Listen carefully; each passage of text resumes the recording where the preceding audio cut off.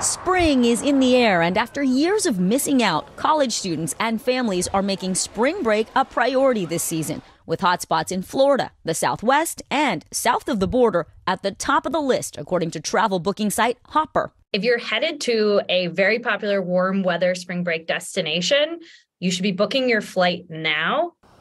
Travel costs are not immune to inflation. Hotel rates are up 64% from last year, and flights cost 20% more.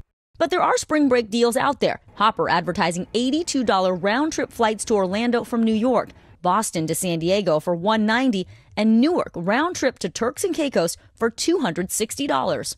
But the clock is ticking. Families heading to vacation hotspots should book as soon as possible. Prices might rise by more than $200 a ticket in the weeks closer to spring break.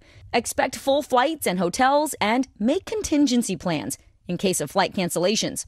For budget conscious travelers, be flexible. Midweek flights can be up to $100 cheaper per person. Wait to book big city hotels. Last minute room deals can save you up to 25%. And consider a staycation. One of the best ways to get an incredible deal when you do a staycation is to reach out to local hotels or accommodation providers. Ask if they have a geo fenced rate hotels often will offer a lower rate to residents of the town, the community, sometimes even the state to incentivize locals to stay at their accommodations. Meanwhile, international travel has also roared back with Asian destinations like China, Japan, and Indonesia reopening post pandemic and attracting crowds of young people eager to experience a new part of the world and take advantage of the strong dollar. When you add up hotel, eating out, Ubers to and from airports, the total amount of money you're spending to go somewhere in the US might actually be the same amount you would spend going somewhere in Asia or Europe. Savvy travelers should plan out a complete budget, including the cost of taxis, rental cars, food and drink, and excursions. Tips to maximize your spring break without breaking the bank. If you're thinking about hitting the open seas, cruise lines are offering some big savings right now. Roller coasters, go kart racing, water parks, not on land, but at sea. And with several new ships arriving this year, cruises can be found at all price points, like this three-night cruise in the Bahamas for under 300 bucks per person, or a seven-night voyage for two on the Mediterranean for 2900. As travel restrictions ease, families are ready to hit the high seas. Well, I think there was an appetite for people who really wanted to travel and really weren't doing it during the pandemic. Colleen McDaniel is the editor in chief of cruisecritic.com. Why is cruising back in such a big way? Cruising is bringing new ships. They are loaded with amenities and things to do, activities like go kart racing or rock wall climbing, all these cool things that you can do ashore, you can now do on a cruise ship. Just how big is this wave of reservations? Celebrity Cruises had its largest booking day ever on Black Friday. Holland America up 20% from 2019, and Royal Caribbean had its biggest booking day in the company's 53 year history. Among the most popular destinations, Alaska and Northern Europe's British Isles, Greenland, and Iceland. McDaniel says start by working with a travel agent, especially if you've never cruised before, and don't pick based on price. Tell the agent what you want to do. Pricing will be a part of it, but it shouldn't be the biggest factor because if you don't have that great ship, you're not going to have the perfect experience. If you're booking the cruise yourself, look for discounted gift cards on websites like Raise or cardcash.com. We found this one a $500 value for 430 bucks. If you apply several gift cards to your purchase, the savings really add up. So, how do you make the most of your experience and save money once you're on board the ship? Well, to show you, I'm here on The Gem by Norwegian Cruise Lines, and with me, Stephanie Cardell. She's the Director of Communications. So, Steph, what should folks think about once they set foot on board? Sure, there's so much to do on board. Everybody loves to dine and eat when they're on board the ship, so make sure you go down and you get your specialty dining package if you haven't done so yet. Same with your unlimited beverage package. You know, if you want to spend days around the pool um, having your favorite cocktail, make sure to do that first. And those packages tend to save you more money than if you bought a la carte. Absolutely. And then you have some tips on saving on the rooms too.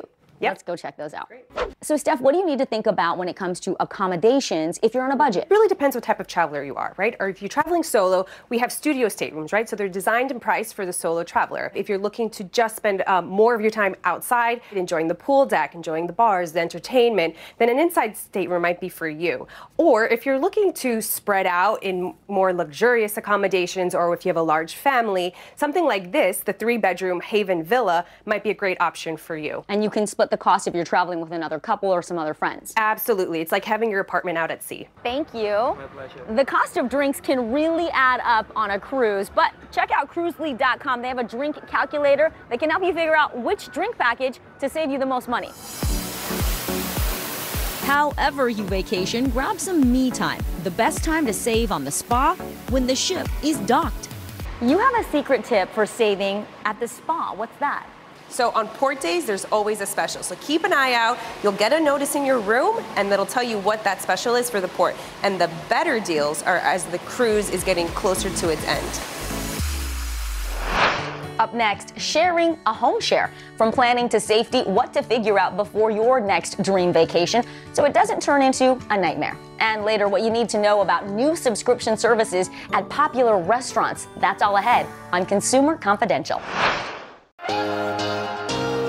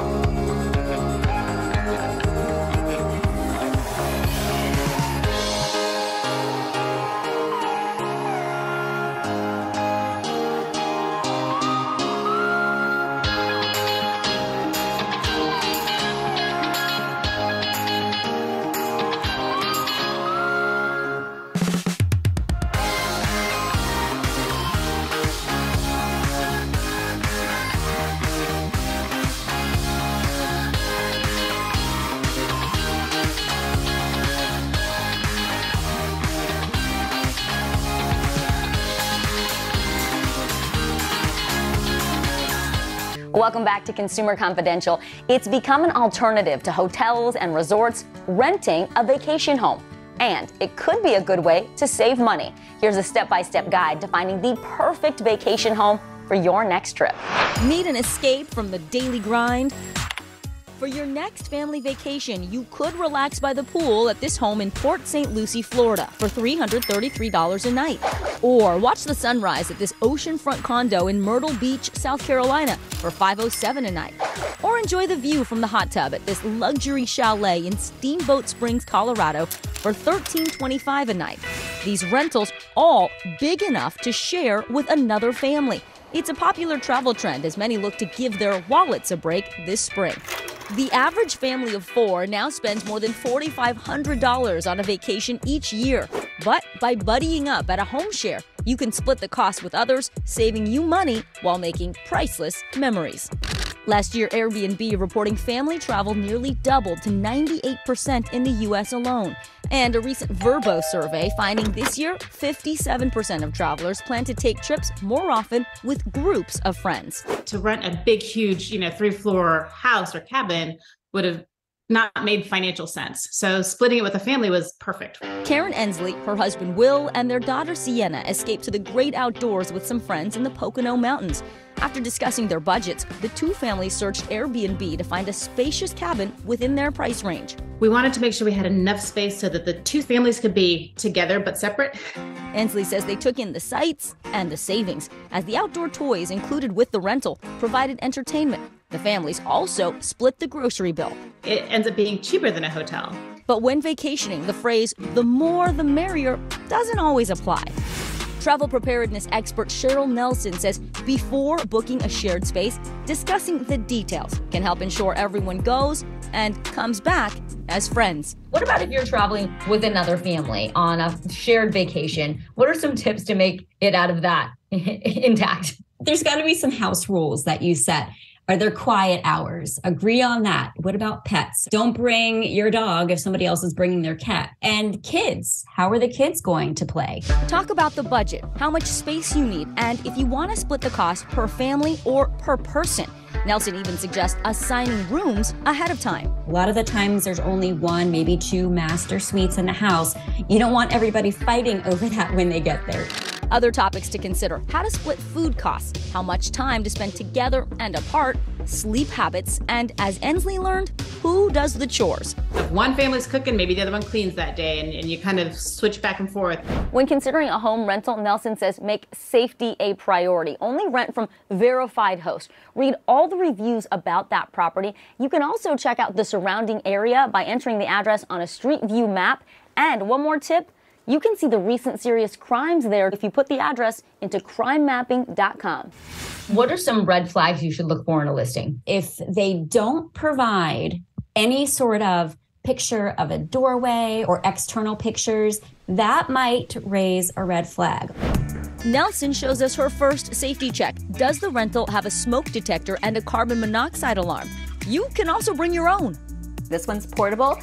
All you do is plug it into the wall. She then uses a flashlight to look for hidden cameras. Ideally, I'd close the blinds, lights would be off. And as I'm lounging, I would just start pointing this at vents. If you see anything reflecting back at you, there might be a hidden camera in there. And she checks drawers for sharp objects and drugs or chemicals. Tips to keep your home share travels full of good, clean family fun. Still to come, how to avoid paying extra airline fees, and later, deal or no deal, how to find the best prices at your grocery store. We're back after this.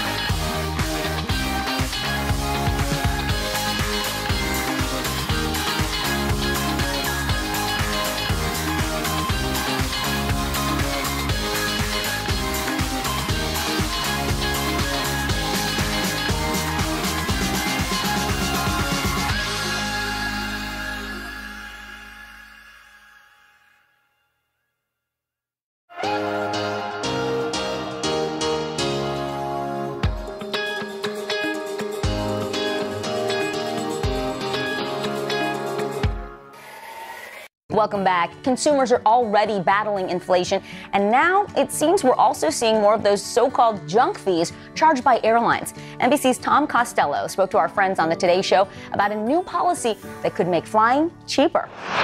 It's a travel hassle familiar to any family traveling with kids. Either shell out the extra cash for seat selections up front or try to wing it at the gate. Now, United Airlines is rolling out a new seating policy to make the skies a bit friendlier, allowing accompanying parents and adults to sit next to children younger than 12 without paying extra. That's a big deal for parents like Nathan Herrig and his family of four. It takes away one of the most stressful parts of flying, which is, you know, uh, what am I going to do with my kids on the flight? Along with the ticketing policy, United says it's also unveiling new technology that will open up more seats on its flights to help automatically keep younger children next to an adult in their party, giving access to regular economy seats and preferred seats if needed, no extra fee. It's not uncommon to see seat selection as much as 50, 60, or 70 dollars per person. And so if you're talking about a family of four, that can run well over $200 just to reserve your specific seat. The new feature will be available to families purchasing either regular tickets or basic economy tickets, which typically have more restrictions. The move comes as regulators, lawmakers, and the White House have taken sharp aim at so called junk fees that airlines charge. We'll prohibit airlines from charging $50 round trip for a family just to be able to sit together. Baggage fees are bad enough. Airlines can't treat your child like a piece of baggage. The airline industry says carriers try to seat families together, often at the gate, but families sometimes buy seats together that cost more. Experts say United's new boarding tool should remove some of the boarding stress for families. It's going to be better for uh, airline gate agents who don't have to try to play musical chairs all right, Tom, some good tips, but if families are booking with other airlines outside of United, how can they avoid that seating yeah. fee? Yeah, let's walk through a couple of tips for you. Uh, first of all, uh, you should try to call the airline in advance. If you're going ahead and booking online, First of all, try to see if you can book together. That may be difficult, but give it a shot. Call the airline in advance, explain to them you're traveling with young kids, and if that doesn't work or if they simply can't help you, the agent at the gate, hopefully at the airport, can help you as well. And here's a good tip. If you're traveling with kids, try to choose maybe a seat, all seats in the back of the plane. Those usually don't fill up as fast, and usually those are not premium seats. It's easier to get seats together closer to the bathroom yeah, too. By the way, in that case with little kids, not a bad thing. How about baggage fees? Because those can really add up too, Tom. Well, you know, if you have status, if you fly a lot, usually your status will allow you to check a bag for free. But those airline credit cards usually will give you at least one, sometimes two bags for free. So consider that. Using a credit card for the airline that you're on. Also, compare the policies. Not all airlines charge to check bags. Southwest still does not. So you might want to be looking and considering whether that's a factor. And then if you want to try to avoid that checking the bag fee, you might want to try to carry on and then check the bag at the gate. However, your bag can't be so big it doesn't fit through the TSA x ray machine. It's not just airlines that are tacking on those fees, hotels, concerts, even banks too. So how can we avoid extra fees? NBC's business reporter Brian Cheung recently shared some ways to cut down on costs. All right, so we're going to take it one step at a time by the by the numbers. Let's start with those dreaded banking fees. What are we working with here? Yeah, well, it costs a lot to use plastic Chanel, and the number I've got for you here is twenty nine dollars and eighty cents. Okay. That number comes from Bankrate. That's how much it costs to overdraft. You don't have enough money in your checking account. The bank has to move from your savings account, and that's going to cost you a lot of money. So that make sure up. you have enough in your checking account. Yeah, but look, yeah. there's a lot of other fees that are associated with using bank services as well. Okay. ATM fees, four dollars and sixty six cents per what? Per transaction. That's also according to Bankrate. So if you want to avoid that, try to stay inside your debit card network. Take a look at the back of the plastic to make okay. sure you know where to use it. And then there's also credit card late fees, right? On top of the interest that you're going to pay for anything that's overdue, you're also yep. going to get this late fee of about thirty dollars. The Consumer Financial Protection Bureau is actually proposing under the Biden administration to cap that at eight dollars. Really? And, yep, and the CFPB again, it's a proposal right now, okay. but they say that could save Americans about nine billion dollars. And by the way, Chanel, for all these fees, if you do face it, try to give your bank a call. Just say, hey, look, I'm really sorry about that. Maybe can you waive it? I've done it before with the overdraft. Right, especially fee. if it's just one time. Exactly. And yeah, the worst they could do, Say no. say no. Yep, okay, exactly. to save that money. All right, next let's talk about this is a good one. The extra costs yes. we pay for cable and internet. yeah, really expensive. And, and the number I've got for you right here is 11.3%. That's the estimated inflation that we've seen just since the beginning of the pandemic for your cable fees. And by the way, that's on top of what Consumer Reports estimated was $450 in yearly cable fees that people are paying. So fees, and not just wow. the just Well, the... that is actually the bill, but oh, it that's includes fees, which okay. I'm going to get to right here. Company imposed fees as part of that are about 24% according to uh, mm. Consumer Reports. But I feel now, like it feel you feel helpless. Like you get the bill and you have all those fees on there. What are you supposed to do? Well, you, you I mean, you can call the cable company and try to see if you can negotiate some of those fees. But there are things like, for example, modem rentals. They'll Okay. say you have to rent from us. That could be up to $15 a month. You could buy your own modem, your own router mm-hmm. from Best Buy, for example, and then Yeah. save yourself the monthly fee. Okay. And also watch out for cancellation fees. If you try to get out of a contract early, could be up to $200. But again, try to give your cable company a call, and also maybe consider cutting the cord if it's going to save you money just by streaming instead of buying a cable. But those streaming those streaming services have all been Starts to jacking add up. They've their all been prices. getting, Yeah, So you got to do the math and try to see based off of what channels you want whether or not it ends up working out. All right. It's crazy. All right, so if you actually get off the couch and leave the house, we all want to do experiences. There's concerts, there's games, but the fees attached to ticketing is Yep. also up. Dylan, so the number I've got for you is 27 to 31%. That's the average ticket fee. This is where we feel a lot of the pain. A lot of T Swift fans will know this as well, right? Now, let's do the math, right? Average concert ticket, according to uh, Pollstar, is $108.20. So with another fee on top of that, that's going to be another $30 just Right. to get into the stadium. Average NBA game, I'm a huge Brooklyn Nets fan. I know this for a fact. $94, but again, the fees are added on top of that. It's very expensive just to get inside the Barclays Arena. And then the average discount theater tickets, this is according to TodayTix Group. They're saying it's about $55. That's not just Broadway, that's nationally, by Mhm. the way. Again, you're going to face fees on top of that. there's So- no, what can you do for that? well, one thing you can do is you could try to go directly to the box office. In many cases, you can get around these third-party ticket Mm-hmm. resellers to get around the fee, and then also remember that you can actually try to join a fan club, for example. Okay. They might offer discounted tickets. Oh, tickets. that's a good as well. idea. What ticks me off is when you go and you buy your movie ticket online and they charge you a convenience Yes. fee. Yeah, convenience What's fee up with what? that? What- what's so convenient yeah, about that, you're, right, you're, you have fewer cashiers because I'm buying online. Stop it! Anyway, uh, travel fees. Yes, yes. So what's the number Well, there? look, I get worked up just as much about travel fees as well. Thirty to thirty-five dollars. That is the average airfare fees just for trying to pick your seat, just Mhm. to try to check your bags. Right. Things you can get around. Try to check the bag maybe directly at the gate. I've got other numbers for you as well. Airport car rentals, another twenty-three percent more expensive to rent at the airport. Oh, wow. Consider taking an Uber into a downtown location, Uh-huh. renting from the same place could be a Mhm. lot cheaper. Resort fees, forty dollars just Can you negotiate those? Eh, it's kind of tough, but the Biden administration is looking at perhaps Mm-hmm. nixing these fees and then Airbnbs. This is where it gets, I mean, everyone's experiencing this. 14.2% could be the fees on top of what you're quoted. Yeah. Check the card. Try to check out so you get a mm-hmm. final mm-hmm. invoice and how much that's going to cost. Brian you. Cheung, great good numbers. advice. Thanks so much. Yep. Coming up, how to stretch your dollars at the grocery store, plus what you need to know about new subscription services at popular restaurants.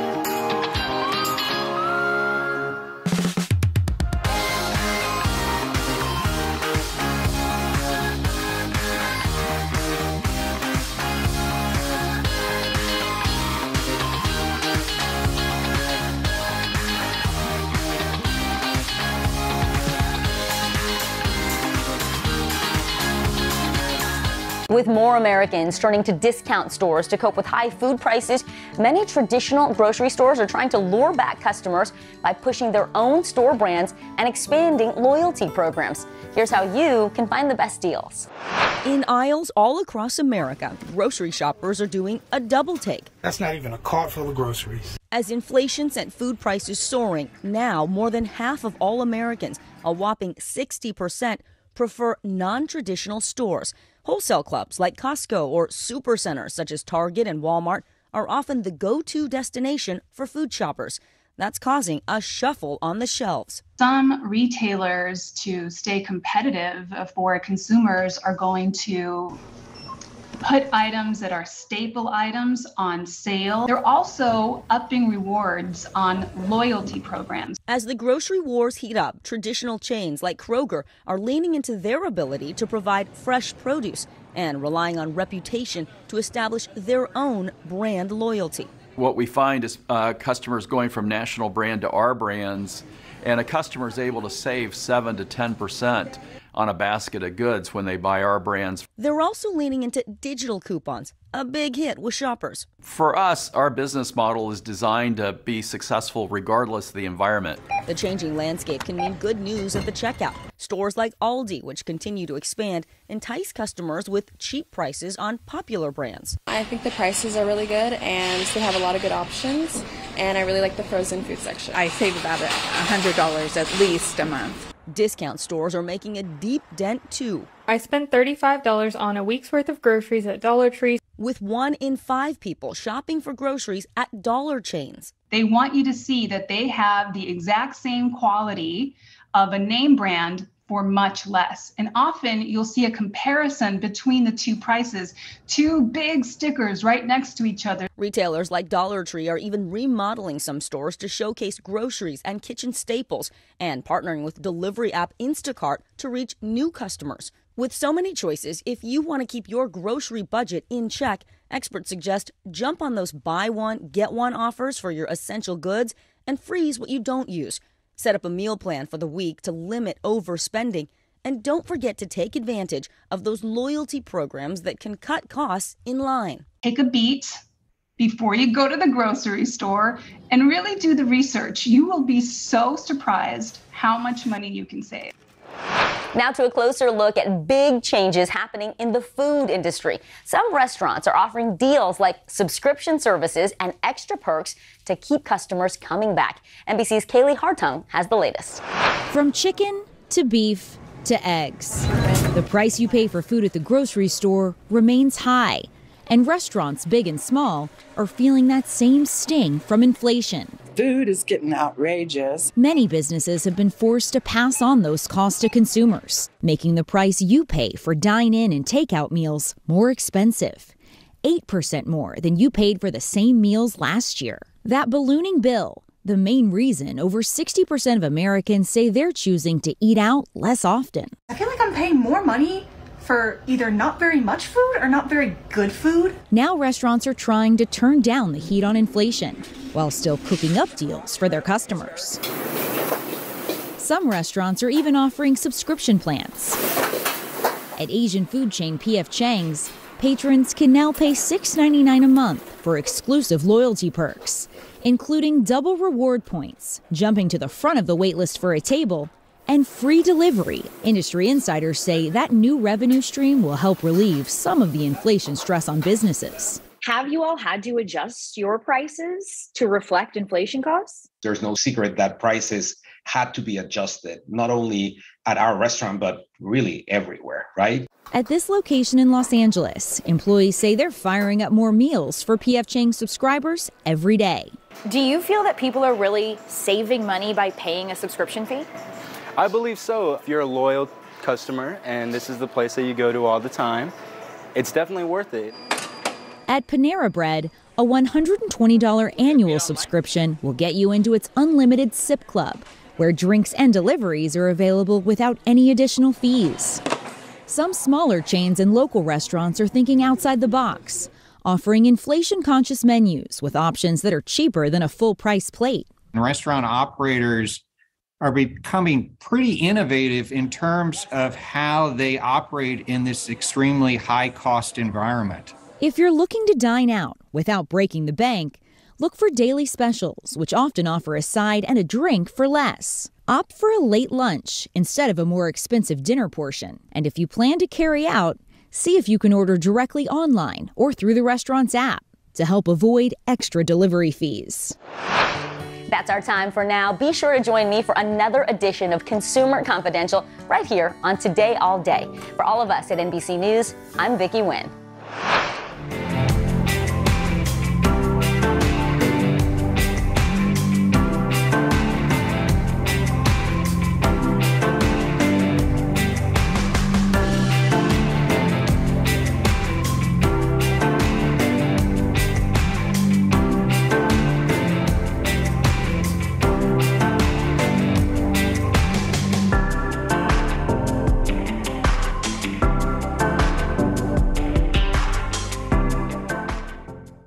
In the 1950s, 60s, and 70s, black owned restaurants weren't just places to get a meal, several becoming crucial meeting spots for activists at the forefront of the civil rights movement. And the families still operating these restaurants today are committed to honoring their historic legacies. It's time to head out of Studio 1A and hit the road for a new kind of culinary adventure. Follow me as I taste some of the most iconic foods around the country and meet the families behind them. Together, we're going to learn how a good meal has the power to connect us to our past, our future, and each other. We're in Harlem, the epicenter of black culture in the United States. Now, many historians agree the Harlem Renaissance paved the way for the civil rights movement of the 1950s and 60s. So, in this episode, we're traveling across the country to explore three legendary black owned restaurants. For generations, these beloved eateries have been serving up dishes to historic figures and those fighting for change. First up, we're heading south to visit an iconic establishment that defied segregation laws. New Orleans, a city that celebrates food, music, nightlife, and history. In the Big Easy, you'll find many historic sites that played a vital role in the civil rights movement, like William Frantz Elementary School, where six year old Ruby Bridges broke barriers in 1960, or New Zion Baptist Church, a hub for activists, and Treme, one of the oldest black neighborhoods in America. Here, you'll find the only restaurant on the U.S. Civil Rights Trail. Dooky Chase Restaurant definitely is a historical landmark institution here in New Orleans. This popular eatery is a living testament to a woman who changed the face of fine dining in America, Chef Leah Chase. I'm Stella Chase Reese, and I am the president of the corporation here at Dooky Chase's. And I'm Edgar Duke Chase IV, and I'm the executive chef here at Dooky Chase Restaurant. Stella's grandparents first opened Dooky Chase's as a po' boy shop, becoming a full service restaurant in 1941. African Americans didn't have that place to celebrate, to celebrate birthdays, to celebrate promotions, to celebrate good grades, weddings, proms. So they opened up a place where that could happen. But the next generation had a new vision for the eatery. It was my father, Edgar Chase Jr., and his wife, Leah Lange Chase, that continued the legacy that my grandparents started.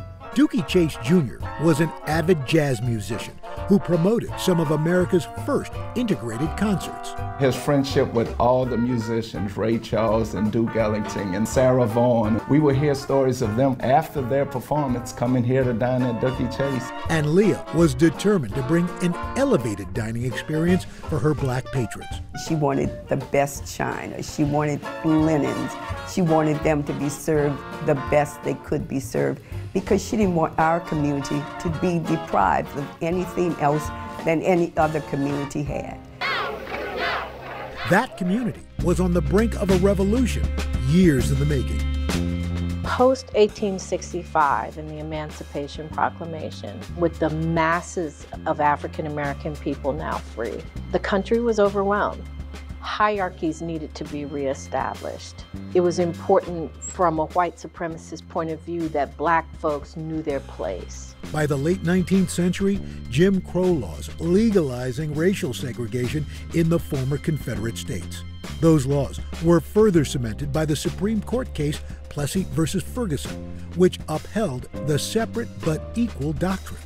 But Dooky Chases defied those laws welcoming patrons of all races to dine and discuss political issues facing the black community. Their willingness and, and openness to everyone in the community made them a hub of safety, made them a hub of belonging. But that openness also made the Chase family a target. There were times that we had people throw things in and try to, you know, destroy the peace but that didn't frighten my parents. They continued because they know what they were doing was the correct thing to do. By the 1960s, Dooky Chases had become a go to spot where activists could connect and strategize. We had the opportunity to serve many of our civil rights leaders Martin Luther King, Jesse Jackson, Rosa Parks, Thurgood Marshall. The list goes on and on. And then Freedom Bus Riders, they came here. My parents realized that until we all learn to enjoy life together and get to that part where social justice would be for everyone, that this community or any other community in our country would not grow and will not be better. In the 1970s, Leah becoming passionate about promoting black artists. Her love of art was also celebrated here at Dooky Chase's when she gave African American artists the opportunity to actually display their art on her wall because at the time they had no place to display their art. Her extraordinary life even becoming the inspiration for Disney's first black princess, Tiana. It meant a lot for her because she did have some of the kids dress up and come here. Leah Chase, the queen of Creole cuisine, passing away on June 1st, 2019. But her spirit and her culinary traditions are in vigilant and capable hands. This is Leah Chase's kitchen. It's set up the same way, and we love it like that because, as you know, she's still with us. She's still watching us. Chef Duke continues to serve Creole cuisine that's been on the menu for decades, from red beans and rice to shrimp clemenceau and the famous chicken a la Dooky. But the restaurant's most popular dish, gumbo. You think back to the civil rights era when we had leaders strategizing in our upstairs dining room. We fed them gumbo. You think about presidents today, President Barack Obama, President George Bush came here. We always started them with gumbo because my grandmother always believed that her gumbo will solve any problems. And we like to say her gumbo changed the course of America. Gumbo, an official state food of Louisiana. Dooky Chase's version has a little something for everyone. Not one, but two types of sausage. Some Louisiana blue crab. What we do here is we take the top shell off, we clean it up, and we just crack it in half, release some of those flavors. Chicken and shrimp. This is really coming out to be a beautiful gumbo. The gumbo simmering until it's ready to serve. I mean, if you just smell this, the neighborhood smelling this, everybody knows when Dooky Chase is cooking gumbo.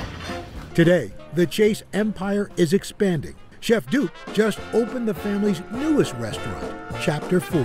Being a fourth generation African American restaurateur is huge. Many generations now working side by side. Being around my family all day, that's the biggest blessing. I'm so grateful that I get to work with all my family, and it's such a joy. And that joy best expressed over great food. Hello, family. Hello. Yes. Enjoying everything. We are enjoying everything. What's the song that Rachel? I'm going down to Dooky oh, Chase oh, to, to, get, get myself some gumbo. When the service is right, they treat you nice. The whole restaurant, Dooky Chase's, is a, is a gift to the family that was given by my great grandparents. And so we want to make sure that, you know, the restaurant sustains that legacy and all the traditions. Leah Chase said, Food builds big bridges. If you can eat with someone you can learn from them. And when you learn from someone, you can make big changes. We can change the course of America in this restaurant over a bowl of gumbo. We can talk to each other and relate to each other. When we eat together.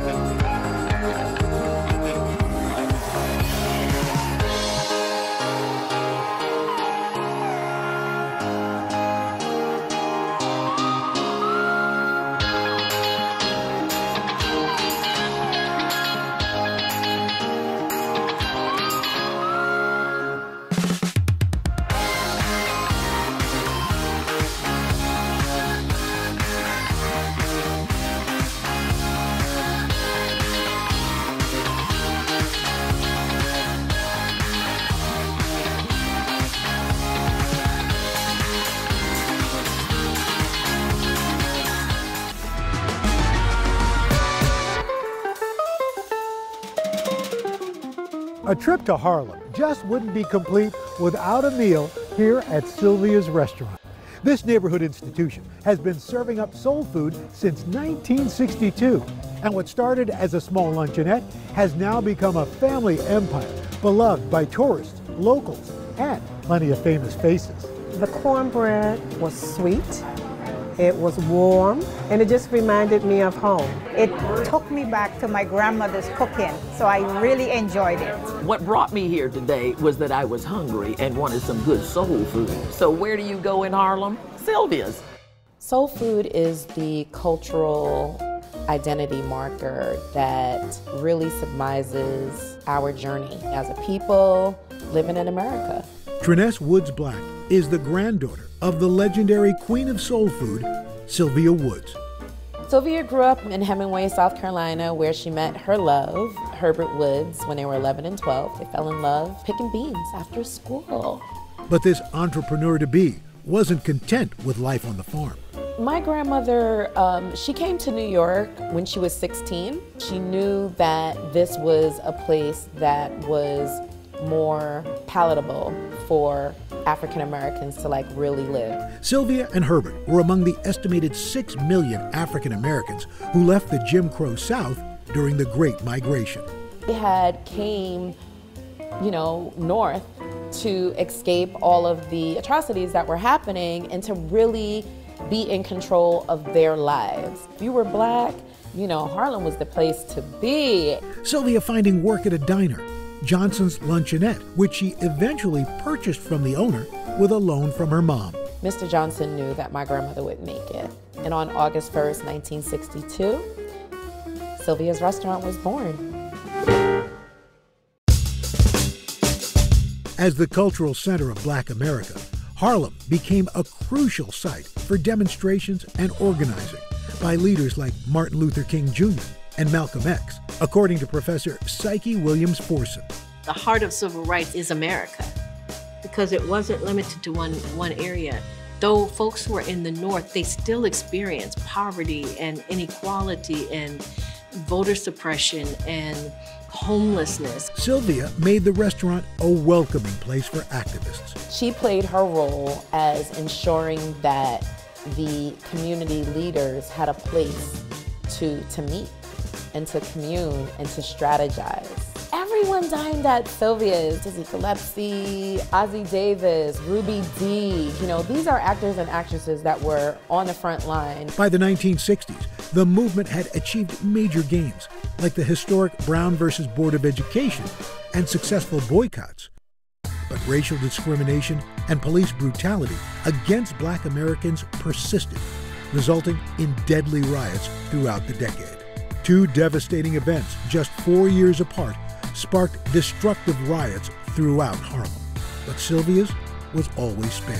Harlem was on fire, and my grandmother kept the restaurant open because the grocery stores were not open, nothing was open. You know, people couldn't feed their kids. And she was in that kitchen making food so that this community would have something to eat. This strong connection with Harlemites has continued for decades. We have guests that eat with us every single day. And sometimes we have people that eat with us multiple times a day. Coming up, I learned the secret to Sylvia's famous fried chicken.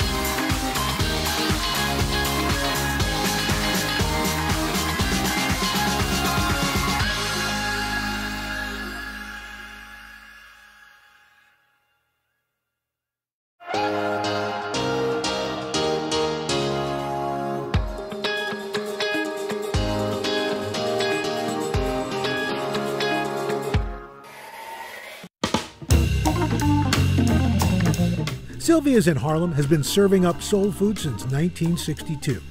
And this native New Yorker couldn't wait to get back into their historic dining room. oh, wow. it's It's so so good good to to see see you. It's been so long. It's been way too long. Missed you. I've missed you too. But you know what? The good thing about Sylvia's is it's like I saw you yesterday. It's coming home. It's coming it's home. It's coming home. The dining room walls showcasing famous faces and political figures, along with treasured memories. This picture is one of my grandmother's favorites. This was when Winnie and Nelson Mandela came to New York when he was freed. Eating here has become a rite of passage for many candidates. And there's a young man, I don't know whatever happened to this guy. You know, I think he might have turned out okay. I, think, he- so. yeah. After a meal here, Af- yeah. this is what sent him on his path. That's right. It's the it was the chicken. It was the chicken. But the heart of Sylvia's is Harlem. Tren'ness and her family have worked hard to stay active in the neighborhood, from funding college scholarships for local teens to supporting Black Lives Matter events. What is it about this restaurant that keeps people coming back? Authenticity. Authenticity times love. Sylvia's, when you come to Sylvia's, you know what you're going to get. You're going to get some good food that's going to make you feel warm. Today, over a dozen family members help run Sylvia's empire, which includes a catering business and a successful food product line. What's it like working with family? Because I know your brother Marcus, Yeah. your baby brother Marcus, baby is there in the kitchen. What's that like? Watching my brother throw down in the kitchen is something that we always knew was going to happen.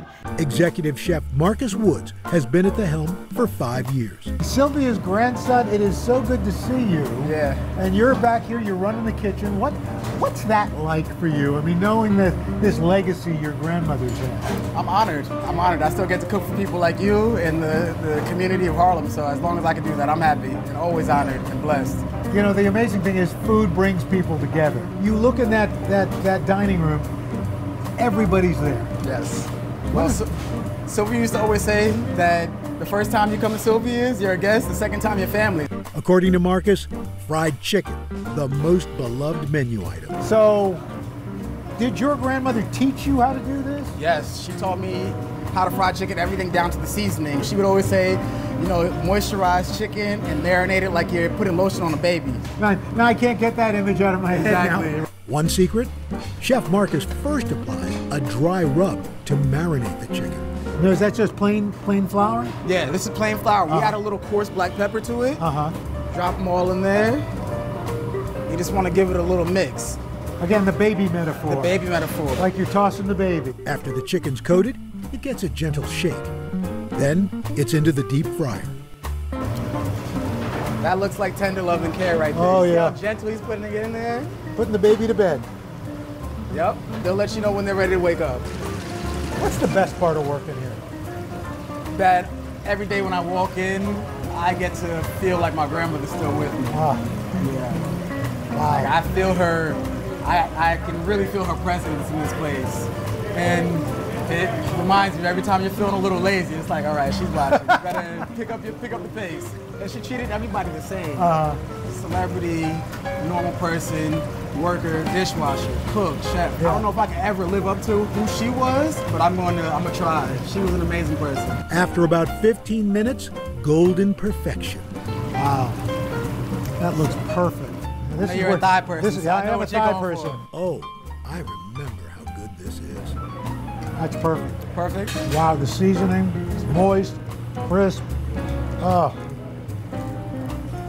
Your grandmother's smiling right now. That's Sylvia's fried chicken right there.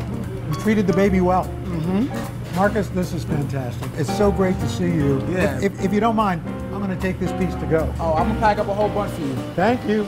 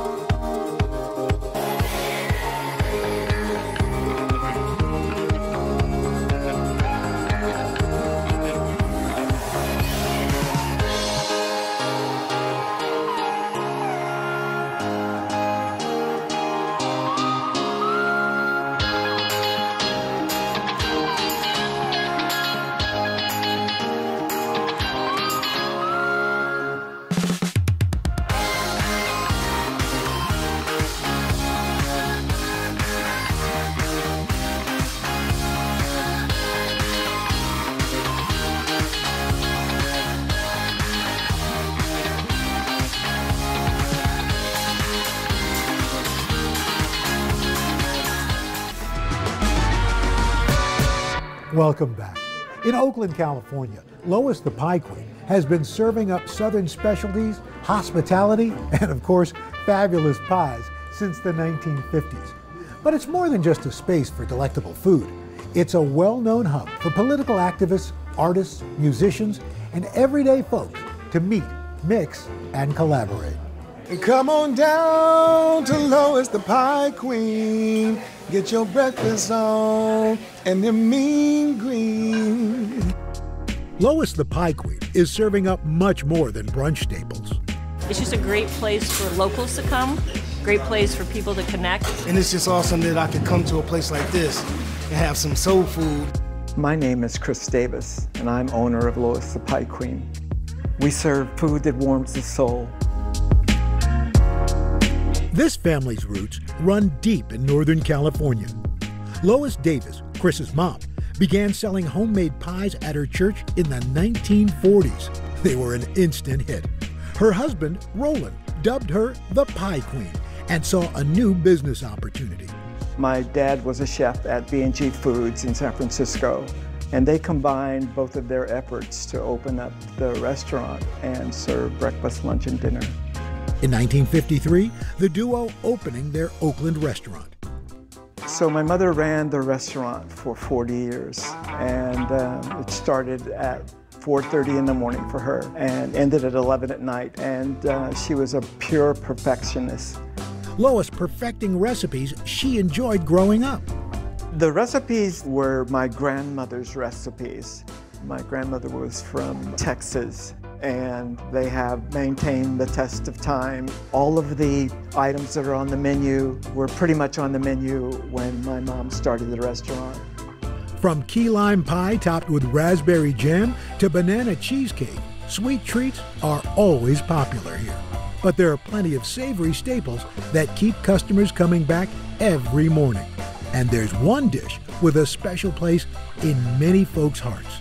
You might not find salmon croquettes on the menu anywhere in the Bay Area. The salmon croquettes are part salmon, part mackerel, yellow onions, salt and pepper, Italian breadcrumbs.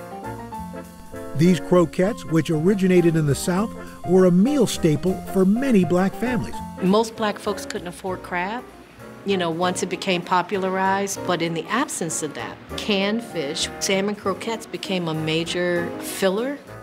With a couple of cans, families could make an affordable yet delicious meal. Lois's dishes have brought in celebrities from Sammy Davis Jr. to Zendaya and sports icons like Reggie Jackson ate here so often they actually named a pork chop special after him. So here's my wall of fame and some of the special people that are up here.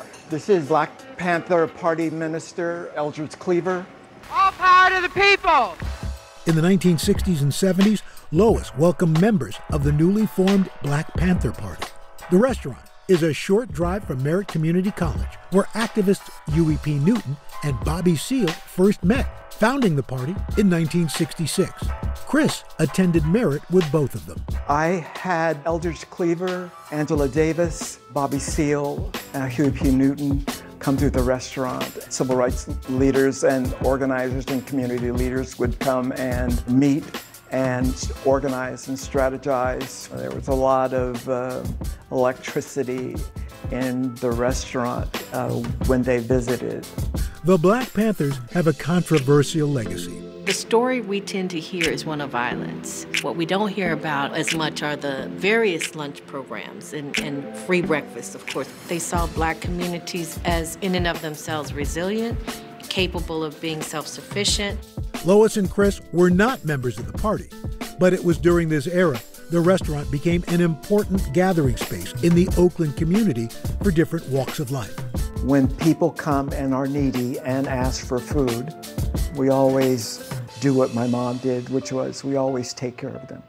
We always give them a meal. The restaurant expanding this mission amid the pandemic, providing 16,000 meals to locals in need. It is a place for people to come and, uh, and get together and try and figure out how to make uh, our community and our world a better place. Today, that mission to help others has evolved. Chris uses his platform to support local musicians and keep the restaurant buzzy by bringing in younger generations. I believe that that aspect of music and musicianship is something that is in the ethos of the restaurant. Hey, Mr. Jackson, how are you? Good, I'm doing good, babe. Good to see you, man. Good. He recently started a music management company for Wise Men Entertainment that he unofficially runs from the tables at Lois. It's not an accident or a coincidence that you look around and see a lot of photographs of, you know, famous folks. There's a lot of people that he supports.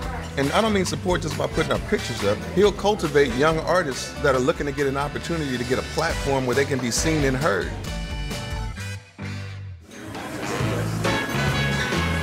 Would you like hash browns, grits, or rice? Grits, of course, grits. Chris is determined to keep the restaurant in the family. His son, Corey Jackson, has been overseeing the day to day at Lois for nearly five years. Working with my dad gave me an understanding of not only the hard work my grandmother put forward and how much my dad is trying to fill those shoes, and now I'm trying to fill his. Corey hoping his sons will share the passion for the family business. They can't stay away. They have a job right now. They fold silverware. It's great to see my kids and their Papa Chris bond in those times. Chris thinks Lois would be incredibly proud to see her restaurant continuing to thrive. We are the oldest black restaurant in the Bay Area. It is a tribute to my mom's efforts to support her community and to create a place that was a home away from home and a place that served food that warmed the soul. Say cheesecake. Cheesecake. As you might imagine, keeping a restaurant running for decades is no easy feat, especially in the face of adversity. But with delicious dishes and unwavering hospitality, these historic hotspots have nourished generations fighting for social change. These places now stand as symbols of resilience, inspiring and feeding a new generation of community leaders.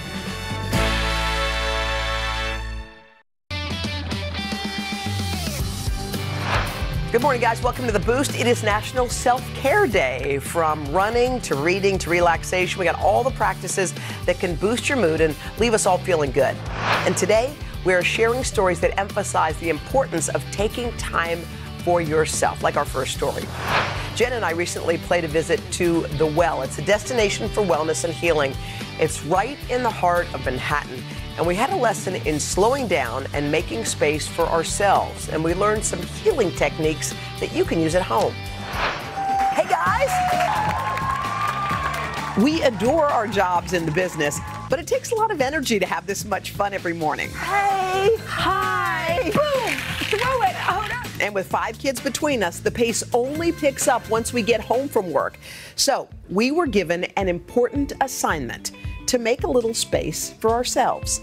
Let's slow down. Slow. Where are we racing to? We're Nowhere. Not, we're not racing. We're gonna go slow. Anywhere. Wait, look, the well. It seems like the right place. Well, let's, go. This is the Well in New York City, designed to be a one-stop shop for all things wellness. It's so important to create spaces where people can have time for themselves, you know, offer a wide range of, of options and tools where people can help navigate all the different things that they're juggling in their day-to-day lives. They also take a holistic approach to health. We're looking at all aspects of someone's health, the physical, the mental, the spiritual, the emotional. We're not just taking a symptom and looking for a drug that fits that symptom. Today, our prescription was to be bathed in a symphony of sounds. And our mind coach, Manjeet Devgan, she uses her voice and her instruments to send healing energy to the body. I grew up singing on stage in the temple, so I had a very spiritual upbringing. So I'm going to take them through a little bit of sound bath so that they can feel how relaxing the instruments are on them, send them a little bit of energy healing, fill them with light. I'm so excited that you're here. Welcome to the well. Oh, we feel your vibe. I want to invite you to Lie down. And are you okay with me touching your heart and your Yes, shoulders and your it. head? We're up. okay. Yeah, blankets just to be cozy. You girls look so cute in your We pinks. match. And let's begin. The sound of Manjeet's singing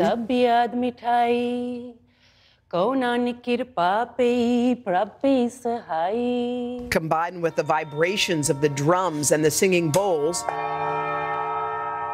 put us in a completely calm state and left our bodies tingling. Last time, take a deep breath in and then exhale all the way out. Oh my God, that was really good. mean, that was awesome. Awesome. I loved it. I don't want it to be over. This is the first time I've done a shoot like this or anything Yeah. similar to this where you forgot. I forgot. Oh, that's good. That never happens. Our next stop, a manifesting hypnosis. You get to mentally rehearse what it's like to have already completed 2023 with the three things that you want to bring in. So I'm going to guide you through this. Wow. Which Manjeet says will open up our subconscious. Imagine that next natural exhale flowing from the top of your head like a beautiful waterfall down the length of your body. and help change our old habits into what she calls new programming. And then on a TV screen, I want you to envision the first goal, the first wish that you want to complete at the end of December 2023, knowing that the brainwaves are slowing down and allowing you to have mental rehearsal of everything that you're experiencing. Wow. You know, it's weird. I felt like I was in like a trancy state, and then you said you're going to be refreshed or whatever, and I feel totally Me too. refreshed. That's very strange. So it's great that you're in the trancy state. That's what we want. So, where are we seeing ourselves at the end of 2023? So this is sort of hard to even explain, but it was something about the way I want my house to feel, the way I want my like the energy uh, that I have towards those that I love.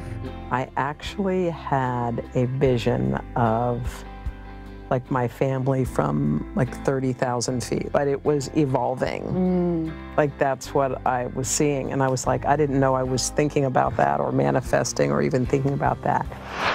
Coming up next, this running program is helping young athletes in Philly make strides. They're building physical and mental strength with the help of our sponsor, Brooks. Take a look. In the hallways of schools across Philadelphia, one uniform stands out. You ready for the 5K races? But these aren't your average varsity jackets. These blue shirts and sweaters are worn by students who have run a half or full marathon, all thanks to a local nonprofit, Students Run Philly Style. They get their hoodies and they get to have that moment where they go, yes, I accomplished something big. The kid I ran the marathon with this year wore that hoodie to school for the entire next week. It's a passion project for running coach Jeremy Spry, who serves as a program manager for a local high school and volunteers with the organization. I look for students who may not see themselves as traditional athletes, who know they want something to be a part of a team. Students Run Philly Style provides each student with free shoes, gear, and training to help build their physical and mental stamina and reach more personal goals. Students like 10th grader Willis Osorio. What made you want to start?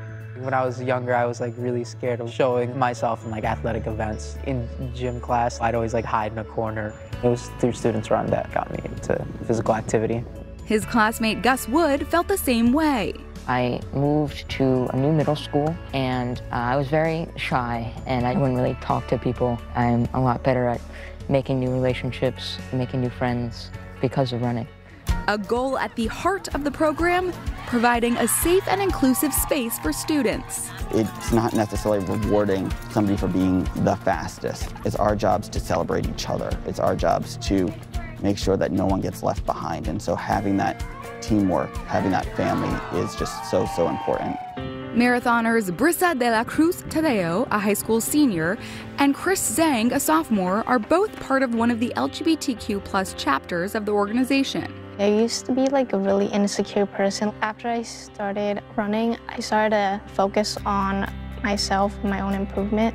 Being in that space is really helpful in building up my confidence and like being more open and out, just like unapologetically. I really don't see students run as a sport. I feel like it's more of a lifestyle. We're fortunate enough to have a program where we're seen and valued. Students Run Philly Style currently has 55 chapters and reaches 1,000 kids, making a big impact. 41% of students have increased their GPA, and 91% of 12th graders graduated high school. All right. We invited runners from chapters across Philly to come together to a special practice. Go, students, run Philly style! Woo! With a big surprise at the finish line. On the count of three, we're gonna lift this up, okay? One, two, three. Our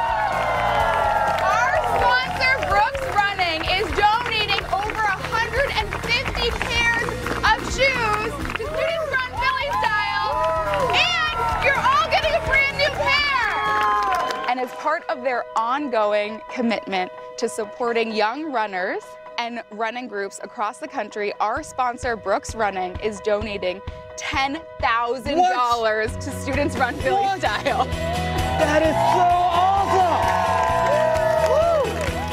That How does that make you feel? so amazing. That money will go so far for all of these kids and for so many more kids in Philadelphia.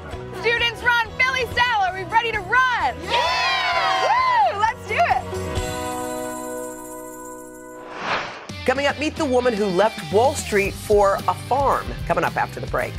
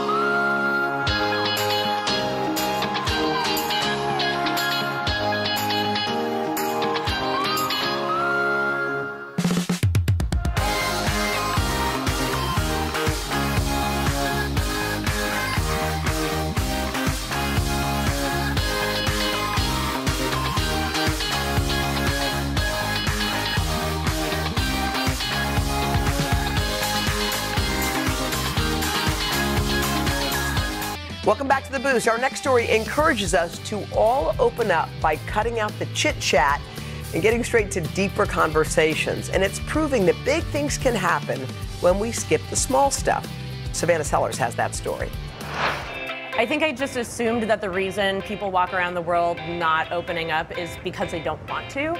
When in reality, I think I keep learning that people are willing to, but they're just looking for the right space to feel safe enough to do it.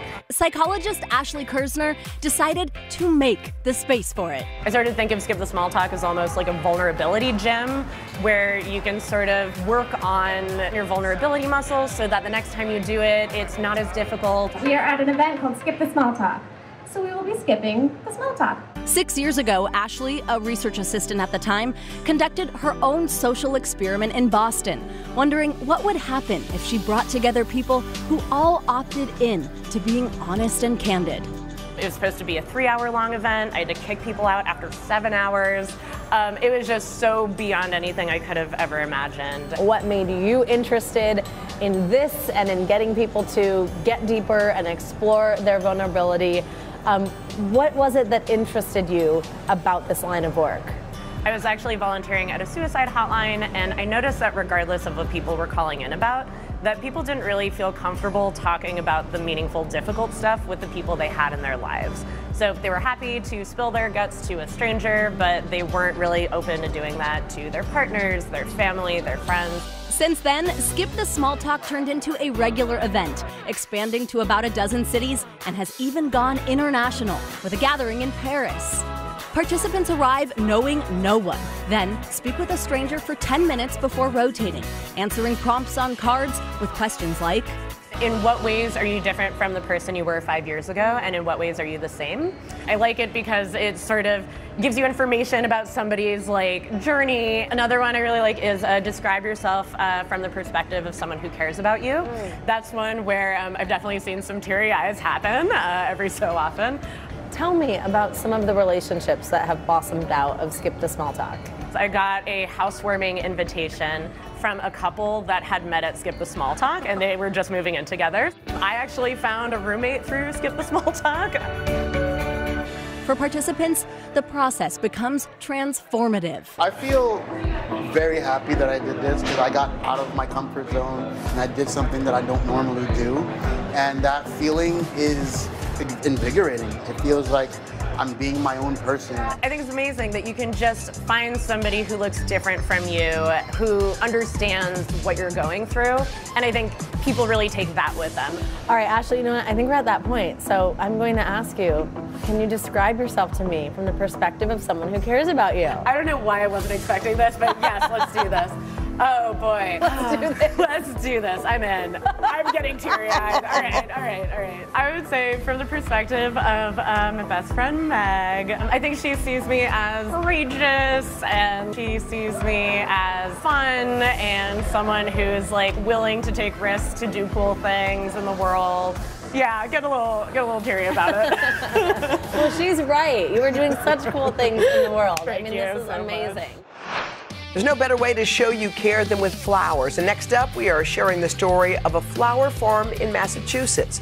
It started as one woman's seed of an idea, and thanks to her loved ones, it's grown into something very special. Flowers to me, it just makes people happy. It's food for the soul. Tucked away in the woods of Upton, Massachusetts, is a childhood dream come true. In elementary school, when the teacher would ask, like, draw a picture of your dream job, and I drew myself picking strawberries. In a way, I knew I really, really, really wanted to farm. That's a monster bushes over here. Grace Lamb and her employees are up with the morning dew, picking, priming, and packing dahlias, the farm's signature flower. Becoming a jungle in here. I think we're growing 240 varieties, but there's, Drop in the bucket. Yeah, that's nothing compared to how many dahlias are out there in the universe. It's a love for tending plants cultivated at a young age in a multi generational immigrant family. I was the one that really enjoyed helping my mom and my grandma out in the garden. That early farming fantasy was lost to the realities of adulthood. Grace went to school for finance and took a lucrative job on Wall Street. I was a equities sales trader. Just didn't fulfill me deep inside. So after four years, when Grace's team was downsized, I was out of my apartment in two weeks and I found a job at a farm. I think we all knew deep down that Grace's place was out here in the dirt. From day one, the farm was a family affair. Grace's brother Lee joined her full time. Duped. Yeah. Totally duped. Well, he's always really good at building things. He was actually the sucker, the easiest one to get. Five Fork Farms blossomed with the help of her four older siblings and parents. Grace went from her mother's backyard to 38 acres. I don't think Five Fork would have worked, at least in this iteration, if it wasn't our family. The inn is on the right. Grace's father is a fan favorite at the farm, delivering flowers and ushering customers to their farm stand. He sees the business as an opportunity he never got growing up in Cambodia. My wife and I, we grew up having little family life because of our parents have to make livings. We absolutely don't want our children to live the life like we did. Ten years later, the farm is thriving. Their loyal customer base, that's turned into family, makes sure the flowers sell out every year. I would say that's what keeps us going. For sure. The joy and happiness that they bring to people's lives, I need to make sure they have that. The family grows the most amazing flowers I've ever seen in my life. It's like an outing for the kids, beautiful flowers for mom. The weather has proven to be an unruly and unpredictable business partner, forcing the lambs to adapt. We've had some sort of weather-related record every season so far. This season in particular, the major drought. And heat. Total 180 from last year. Despite Mother Nature, Grace is still planting her roots. How many times have I quit? Quits about once a year, at least. With her family joining every step of the way. It doesn't seem, at least to me, like work. You just keep on going. We got more stories to put a smile on your face coming up right after the break.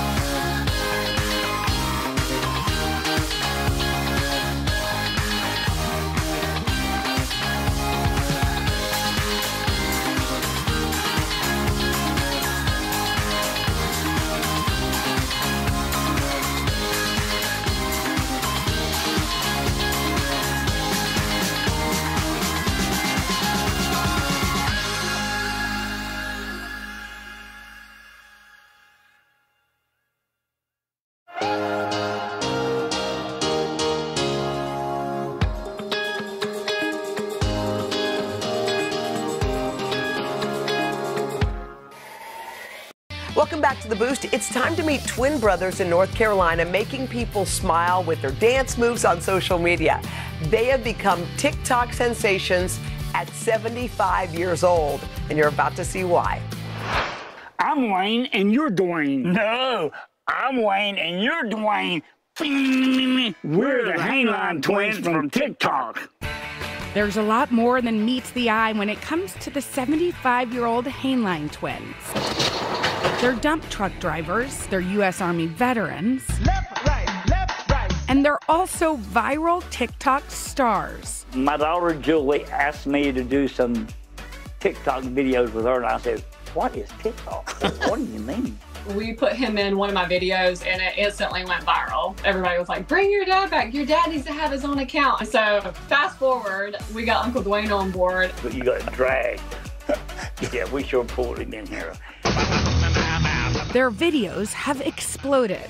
The Hainline twins have over 1.5 million followers and hundreds of millions of views across their videos. I may be on TikTok for an hour looking for trends or looking for something someone's done that's easy to do that we could do. Boy, some of those people, they can do stuff we could never jump up and down, flip and turn us. Yeah, we can't do them. But for Wayne and Dwayne, this is much more than just social fame. We must be doing something right. The joy that we bring people. I love you guys. I mean, just this comment after comment after comment. I'm still scratching my head trying to figure out, you know, what, what this is all about. Slide to the right. Some of their biggest fans are their brother's own family. They've taught me how to be a great human being, and then they're showing that on TikTok. No matter how old you are, that you can still have fun, just to choose kindness. They just have a love for people. In any way that they can share that love to others, uh, they do it. Wayne and Dwayne have been doing life together since the day they were born on November 4th, 1947. Wayne has always been my best friend, no doubt. We do Sometimes things- you just finish each other's sentence, you know, and you're like Ben. Oh, really? And this isn't their first foray into the spotlight. When they were in their teens, they started a band called the Ardells and recorded a single called Drag Race. we decided we were going to play rock and roll. In 1963, we cut a record. The Dixie Cups from New York came down. They did Chapel of Love, going to the chapel, and we got to be the actual band for five shows with them. Now, 60 years later, this dynamic duo is still finding ways to entertain a brand new generation of people. My youngest son, he says, Dad, ever since you've been a kid, you've been uh, a showman, so you're, this is just your old showman age state of life. Instead of being 16, we're 75. Okay, that's an antique comedian. That's what we are. And all the comments that we get from stuff that we do indicate that we're, we're helping people. It inspires me to be able to, yep. to do stuff for people that will lift them up. Oh my gosh, and we're so happy because the Hainline twins, Dwayne and Wayne, are here. Y'all, what is having a twin meant for your life? I know it's meant everything for mine. You always got a buddy. no, it has, have a friend, got your back. It's great. It's great. I mean, being TikTok stars, y'all, at age 75, I mean, this is something. What does it feel like when people do come up to you and say, you know what, I was having the worst day?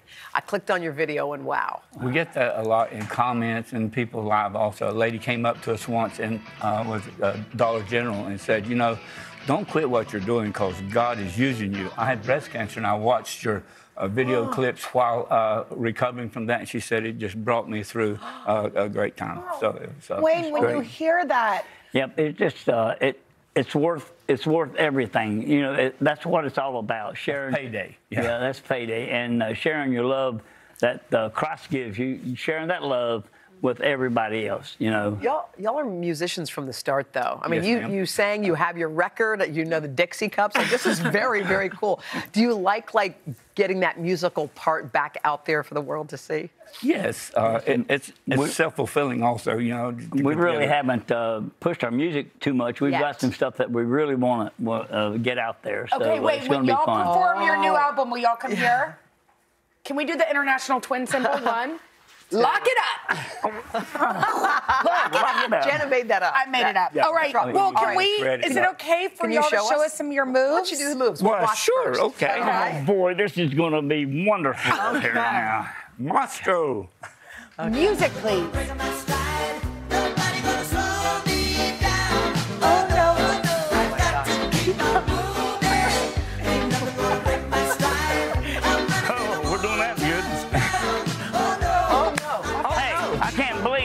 Do this by ourselves. Y'all need to come up here and help us out. we'll you. You'll be right here. Okay, okay. Tell us how we do it. Okay. Right and here? Okay. So, so Yes, the first thing you do, Yeah. when you hear the music, Okay. it goes, hey, uh, it's this Right foot.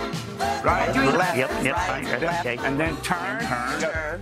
Nobody's going to slow me down. Nobody's going to. All right, here we go. Now we're going to move forward okay. with the right foot. Right Foot back. Oh no! Right. Left, skip, right. Oh, right, right, skip, left. How we do? I like the, I like the, uh, Y'all are amazing. Thank you Thank for you. that. y'all. Thank you for lighting up the world. You know what? Twins are the best. Coming up, the latest viral video that's going to put a smile on your face. Stay with us.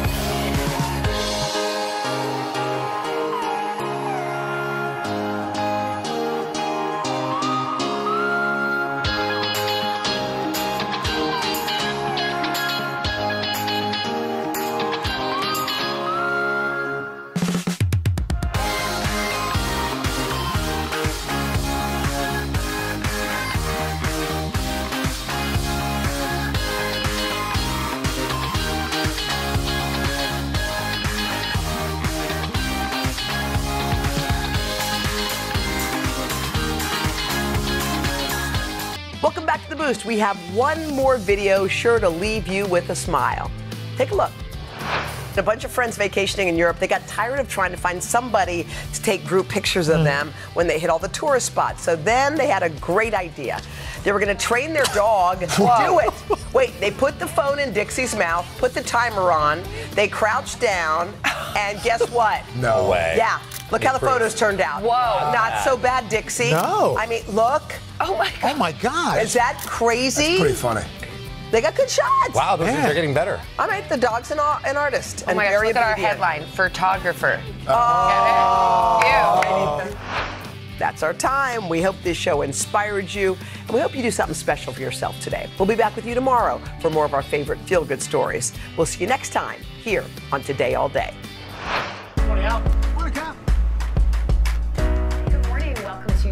I love mornings. They're full of possibility.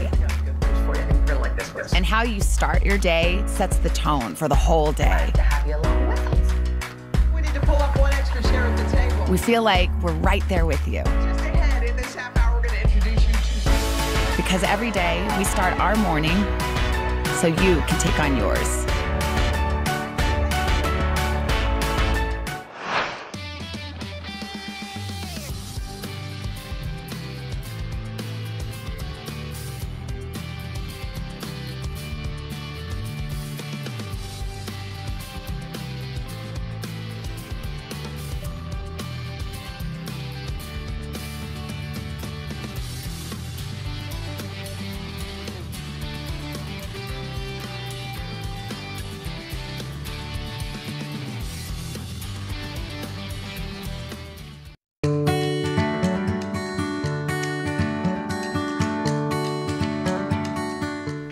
Thanks for joining us for another episode of Consumer Confidential. I'm Vicki Nguyen. As consumers deal with high inflation, we're continuing to help you save money while dining out to cutting costs at the grocery store. But first, we are all thinking about our next vacation. So, how can you find the best spring travel deals?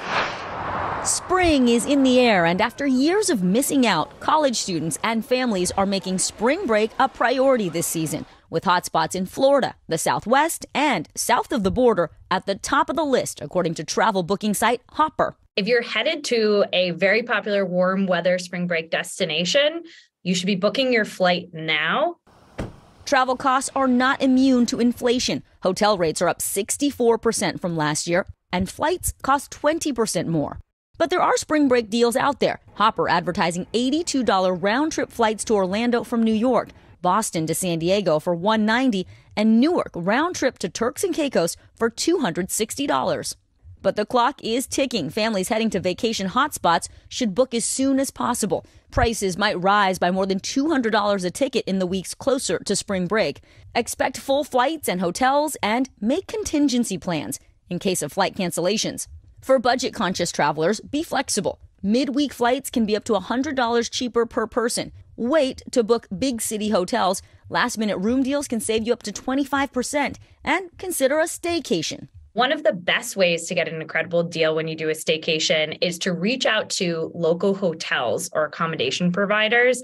Ask if they have a geo fenced rate. Hotels often will offer a lower rate to residents of the town, the community, sometimes even the state to incentivize locals to stay at their accommodations. Meanwhile, international travel has also roared back with Asian destinations like China, Japan, and Indonesia reopening post pandemic and attracting crowds of young people eager to experience a new part of the world and take advantage of the strong dollar. When you add up hotel, eating out, Ubers to and from airports, the total amount of money you're spending to go somewhere in the US might actually be the same amount you would spend going somewhere in Asia or Europe.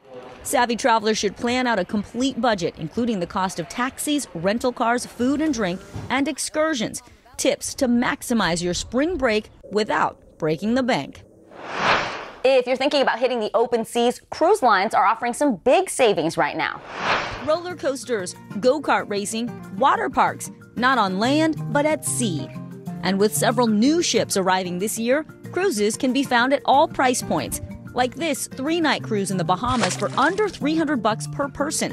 or a seven night voyage for two on the Mediterranean for 2900 As travel restrictions ease, families are ready to hit the high seas. Well, I think there was an appetite for people who really wanted to travel and really weren't doing it during the pandemic. Colleen McDaniel is the editor in chief of cruisecritic.com. Why is cruising back in such a big way? Cruising is bringing new ships. They are loaded with amenities and things to do, activities like go kart racing or rock wall climbing, all these cool things that you can do ashore, you can now do on a cruise ship. Just how big is this wave of reservations? Celebrity Cruises had its largest booking day ever on Black Friday. Holland America up 20% from 2019, and Royal Caribbean had its biggest booking day in the company's 53 year history. Among the most popular destinations, Alaska and Northern Europe's British Isles, Greenland, and Iceland. McDaniel says start by working with a travel agent, especially if you've never cruised before, and don't pick based on price. Tell the agent what you want to do. Pricing will be a part of it, but it shouldn't be the biggest factor because if you don't have that great ship, you're not going to have the perfect experience. If you're booking the cruise yourself, look for discounted gift cards on websites like Raise or cardcash.com. We found this one a $500 value for 430 bucks. If you apply several gift cards to your purchase, the savings really add up. So, how do you make the most of your experience and save money once you're on board the ship? Well, to show you, I'm here on The Gem by Norwegian Cruise Lines, and with me, Stephanie Cardell. She's the Director of Communications. So, Steph, what should folks think about once they set foot on board? Sure, there's so much to do on board. Everybody loves to dine and eat when they're on board the ship, so make sure you go down and you get your specialty dining package if you haven't done so yet. Same with your unlimited beverage package. You know, if you want to spend days around the pool um, having your favorite cocktail, make sure to do that first. And those packages tend to save you more money than if you bought a la carte. Absolutely. And then you have some tips on saving on the rooms too. Yep. Let's go check those out. Great. So, Steph, what do you need to think about when it comes to accommodations if you're on a budget? It really depends what type of traveler you are, right? Or if you're traveling solo, we have studio staterooms, right? So they're designed and priced for the solo traveler. If you're looking to just spend um, more of your time outside, enjoying the pool deck, enjoying the bars, the entertainment, then an inside stateroom might be for you. Or if you're looking to spread out in more luxurious accommodations, or if you have a large family, something like this, the three bedroom Haven Villa, might be a great option for you. And you can split the cost if you're traveling with another couple or some other friends. Absolutely. It's like having your apartment out at sea. Thank you. My pleasure. The cost of drinks can really add up on a cruise, but check out cruzely.com. They have a drink calculator that can help you figure out which drink package to save you the most money. However, you vacation, grab some me time. The best time to save on the spa when the ship is docked. You have a secret tip for saving at the spa. What's that? So on port days, there's always a special. So keep an eye out. You'll get a notice in your room, and that'll tell you what that special is for the port. And the better deals are as the cruise is getting closer to its end. Up next, sharing a home share. From planning to safety, what to figure out before your next dream vacation so it doesn't turn into a nightmare. And later, what you need to know about new subscription services at popular restaurants. That's all ahead on Consumer Confidential. Thank you.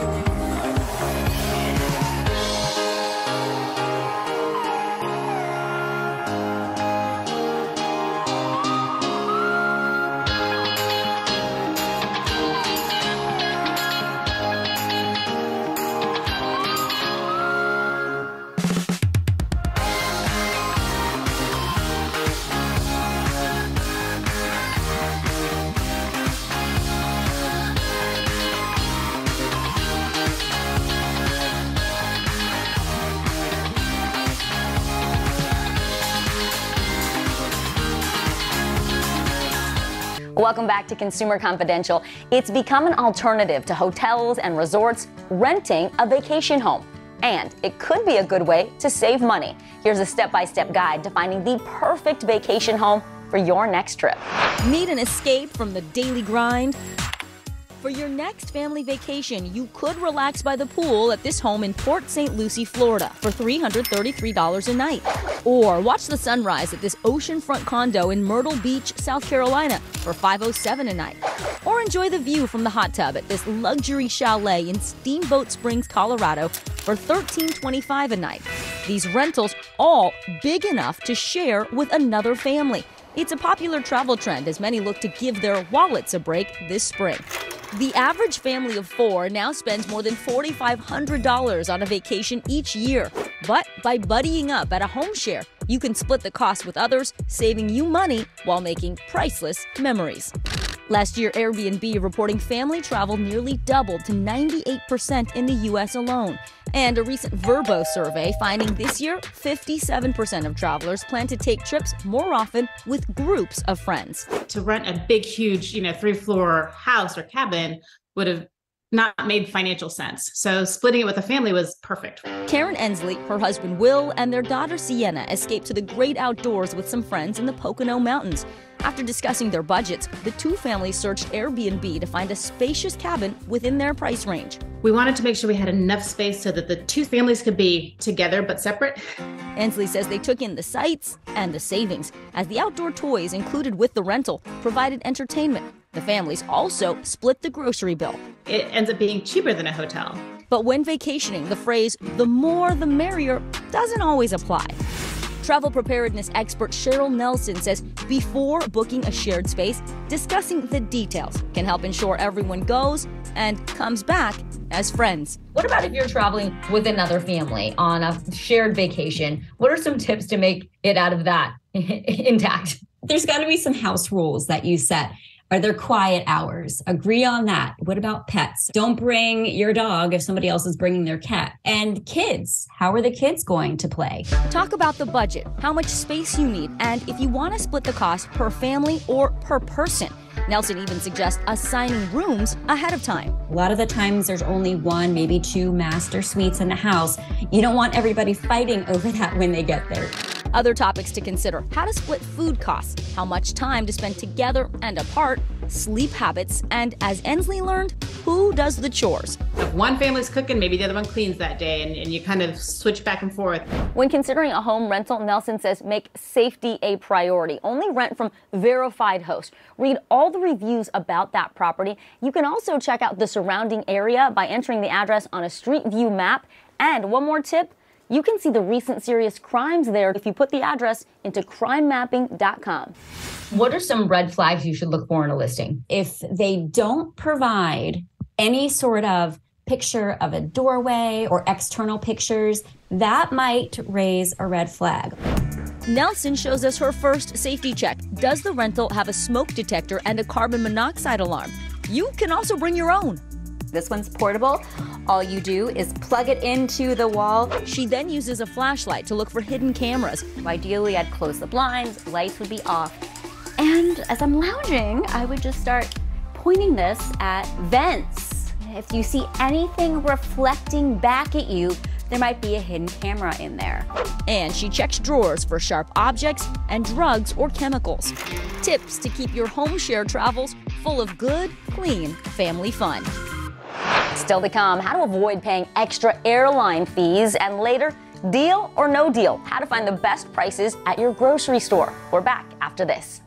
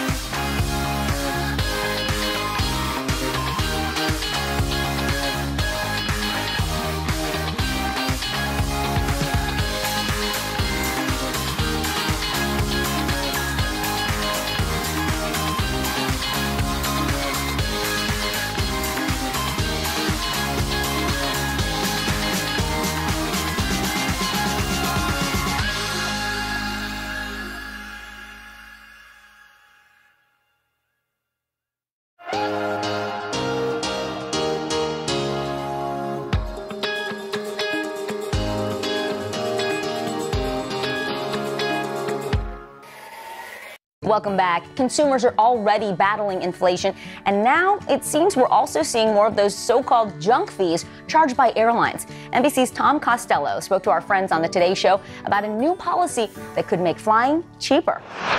It's a travel hassle familiar to any family traveling with kids. Either shell out the extra cash for seat selections up front or try to wing it at the gate. Now, United Airlines is rolling out a new seating policy to make the skies a bit friendlier, allowing accompanying parents and adults to sit next to children younger than 12 without paying extra. That's a big deal for parents like Nathan Herrig and his family of four. It takes away one of the most stressful parts of flying, which is, you know, uh, what am I going to do with my kids on the flight? Along with the ticketing policy, United says it's also unveiling new technology that will open up more seats on its flights to help automatically keep younger children next to an adult in their party, giving access to regular economy seats and preferred seats if needed, no extra fee. It's not uncommon to see seat selection as much as 50, 60, or 70 dollars per person. And so if you're talking about a family of four, that can run well over $200 just to reserve your specific seat. The new feature will be available to families purchasing either regular tickets or basic economy tickets, which typically have more restrictions. The move comes as regulators, lawmakers, and the White House have taken sharp aim at so called junk fees that airlines charge. We'll prohibit airlines from charging $50 round trip for family just to be able to sit together.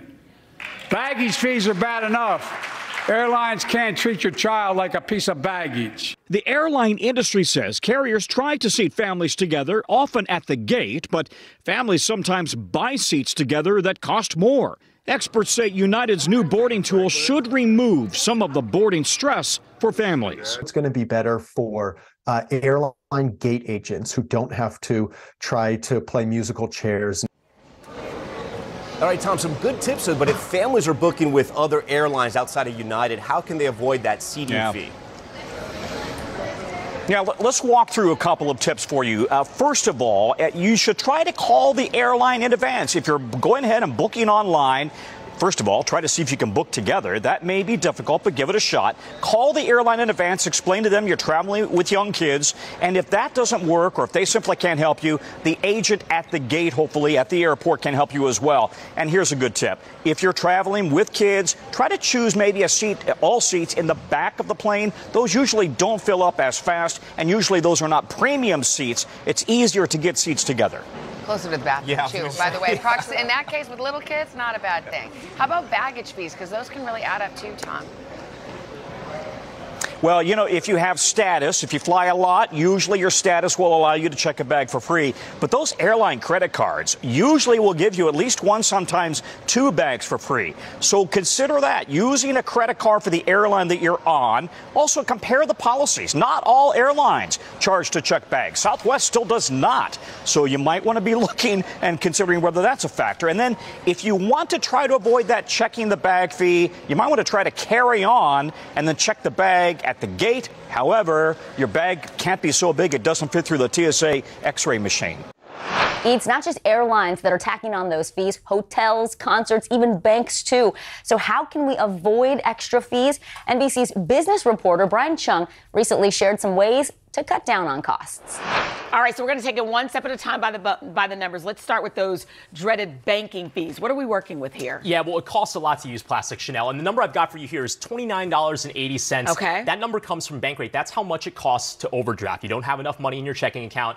The bank has to move from your savings account, and that's going to cost you a lot of money. So That make sure up. you have enough in your checking account. Yeah, but look, yeah. there's a lot of other fees that are associated with using bank services as well. Okay. ATM fees, four dollars and sixty-six cents Per what? per transaction. That's also according to Bankrate. So if you want to avoid that, try to stay inside your debit card network. Take a look at the back of the plastic to make Okay. sure you know where to use it. And then there's also credit card late fees, right? On top of the interest that you're going to pay for anything that's overdue, you're also Yep. going to get this late fee of about $30. The Consumer Financial Protection Bureau is actually proposing under the Biden administration to cap that at $8. And- Really? yep, and the CFPB, again, it's a proposal right now, Okay. but they say that could save Americans about $9 billion. And by the way, mm. Sheinelle, for all these fees, if you do face it, try to give your bank a call. Just say, hey, look, I'm really sorry about that. Maybe can you waive it? I've done it before with the overdraft. Right, especially fee. if it's just one time. Exactly. And Yeah, the worst you- they could do, say no. say no. Yep, okay, to exactly. save that money. All right, next let's talk about this is a good one. The extra costs Yes. we pay for cable and internet. Yeah, really expensive. And, and the number I've got for you right here is 11.3%. That's the estimated inflation that we've seen just since the beginning of the pandemic for your cable fees. And by the way, that's on top of what Consumer Reports estimated was $450 in yearly cable fees that people are paying. So Fees and not just the just well, that is actually the bill, but Oh, it that's the includes fees, which Okay. I'm going to get to right here. Company imposed fees as part of that are about 24%, according to uh, Mhm. Consumer Reports. But I feel Now- like it feel you feel helpless. Like you get the bill and you have all those fees on there. What are you supposed to do? Well, you, you- I mean, you can call the cable company and try to see if you can negotiate some of those fees. But there are things like, for example, modem rentals. They'll Okay. say you have to rent from us. That could be up to $15 a month. You could buy your own modem, your own router mm-hmm. from Best Buy, for example, and then Yeah. save yourself the monthly fee. Okay. And also watch out for cancellation fees. If you try to get out of a contract early, could be up to $200. But again, try to give your cable company a call, and also maybe consider cutting the cord if it's going to save you money just by streaming instead of buying a cable. But those streaming those streaming services have all been starts to jacking add up. The all been prices. getting- exactly. So you got to do the math and try to see based off of what channels you want whether or not it ends up working out. All right. It's crazy. All right. So if you actually get off the couch and leave the house, we all want to do experiences. There's concerts, there's games, but the fees attached to ticketing is Yep. also up. Dylan, so the number I've got for you is 27 to 31%. That's the average ticket fee. This is where we feel a lot of the pain. A lot Mm-hmm. of T Swift fans will know this as well, right? Now, let's do the math, right? Average concert ticket, according to uh, Pollstar, is $108.20. So with another fee on top of that, that's going to be another $30 just Right. to get into the stadium. Average NBA game, I'm a huge Brooklyn Nets fan. I know this for a fact. $94, but again, the fees are added on top of that. It's very expensive just to get inside the Barclays Arena. And then the average discount theater tickets, this is according to TodayTix Group. They're saying it's about $55. That's not just Broadway, that's nationally, by Mhm. the way. Again, you're going to face fees on top of that. there's So- no, what can you do for that? well, one thing you can do is you could try to go directly to the box office. In many cases, you can get around these third-party ticket Mm-hmm. resellers to get around the fee, and then also remember that you can actually try to join a fan club, for example. Okay. They might offer discounted tickets. Oh, tickets. that's a good as well. idea. You know what ticks me off is when you go and you buy your movie ticket online and they charge you a convenience Yes. fee. Yeah, convenience What's fee up with what? that? What- what's so convenient yeah, about that, you're, right, you're, you have fewer cashiers because I'm buying online. Stop it!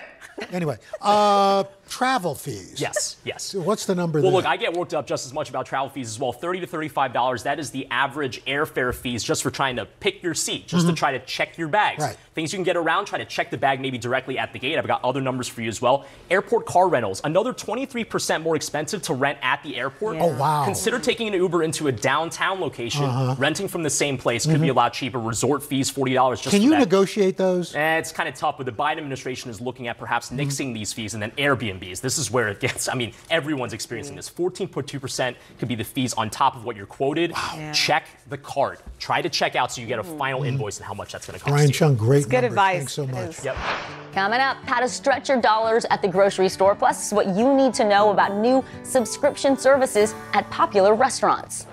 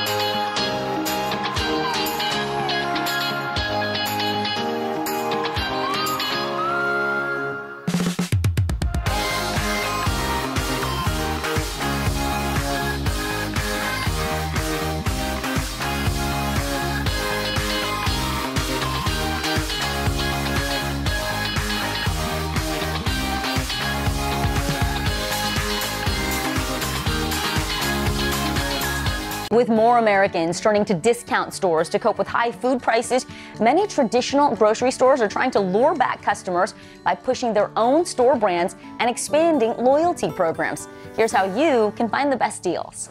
In aisles all across America, grocery shoppers are doing a double take. That's not even a cart full of groceries. As inflation sent food prices soaring, now more than half of all Americans, a whopping 60%, prefer non traditional stores. Wholesale clubs like Costco or supercenters such as Target and Walmart are often the go to destination for food shoppers. That's causing a shuffle on the shelves. Some retailers, to stay competitive for consumers, are going to put items that are staple items on sale. They're also upping rewards on loyalty programs. As the grocery wars heat up, traditional chains like Kroger are leaning into their ability to provide fresh produce and relying on reputation to establish their own brand loyalty. What we find is uh, customers going from national brand to our brands, and a customer is able to save 7 to 10 percent on a basket of goods when they buy our brands. They're also leaning into digital coupons, a big hit with shoppers. For us, our business model is designed to be successful regardless of the environment. The changing landscape can mean good news at the checkout. Stores like Aldi, which continue to expand, entice customers with cheap prices on popular brands. I think the prices are really good and they have a lot of good options, and I really like the frozen food section. I save about $100 at least a month. Discount stores are making a deep dent too. I spent $35 on a week's worth of groceries at Dollar Tree. With one in five people shopping for groceries at dollar chains. They want you to see that they have the exact same quality of a name brand for much less. And often you'll see a comparison between the two prices, two big stickers right next to each other. Retailers like Dollar Tree are even remodeling some stores to showcase groceries and kitchen staples and partnering with delivery app Instacart to reach new customers. With so many choices, if you want to keep your grocery budget in check, experts suggest jump on those buy one, get one offers for your essential goods and freeze what you don't use. Set up a meal plan for the week to limit overspending. And don't forget to take advantage of those loyalty programs that can cut costs in line. Take a beat before you go to the grocery store and really do the research. You will be so surprised how much money you can save.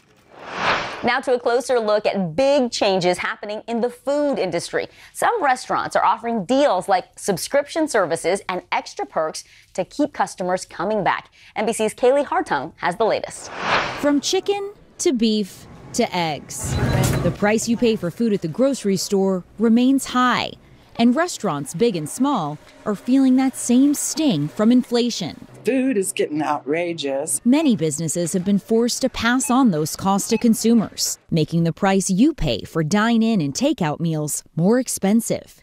8% more than you paid for the same meals last year. That ballooning bill, the main reason over 60% of Americans say they're choosing to eat out less often. I feel like I'm paying more money for either not very much food or not very good food. Now restaurants are trying to turn down the heat on inflation while still cooking up deals for their customers. Some restaurants are even offering subscription plans. At Asian food chain PF Chang's, patrons can now pay $6.99 a month for exclusive loyalty perks, including double reward points, jumping to the front of the waitlist for a table, and free delivery. Industry insiders say that new revenue stream will help relieve some of the inflation stress on businesses. Have you all had to adjust your prices to reflect inflation costs? There's no secret that prices had to be adjusted, not only at our restaurant, but really everywhere, right? At this location in Los Angeles, employees say they're firing up more meals for PF Chang subscribers every day. Do you feel that people are really saving money by paying a subscription fee? I believe so. If you're a loyal customer and this is the place that you go to all the time, it's definitely worth it. At Panera Bread, a $120 annual subscription will get you into its unlimited sip club, where drinks and deliveries are available without any additional fees. Some smaller chains and local restaurants are thinking outside the box, offering inflation conscious menus with options that are cheaper than a full price plate. Restaurant operators are becoming pretty innovative in terms of how they operate in this extremely high cost environment. If you're looking to dine out without breaking the bank, look for daily specials, which often offer a side and a drink for less. Opt for a late lunch instead of a more expensive dinner portion. And if you plan to carry out, see if you can order directly online or through the restaurant's app to help avoid extra delivery fees. That's our time for now. Be sure to join me for another edition of Consumer Confidential right here on Today All Day. For all of us at NBC News, I'm Vicki Nguyen.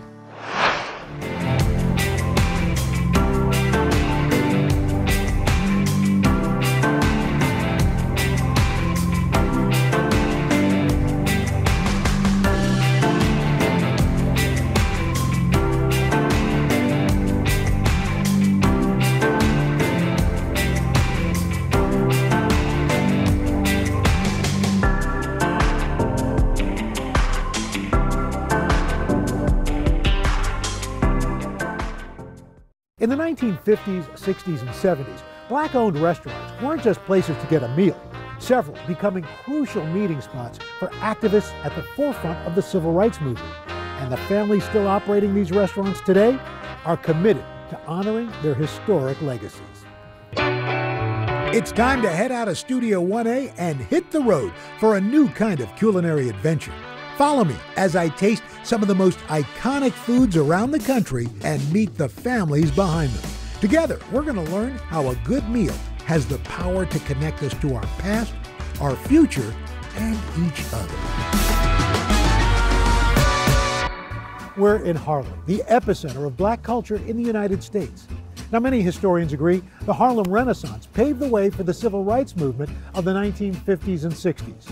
So, in this episode, we're traveling across the country to explore three legendary black owned restaurants.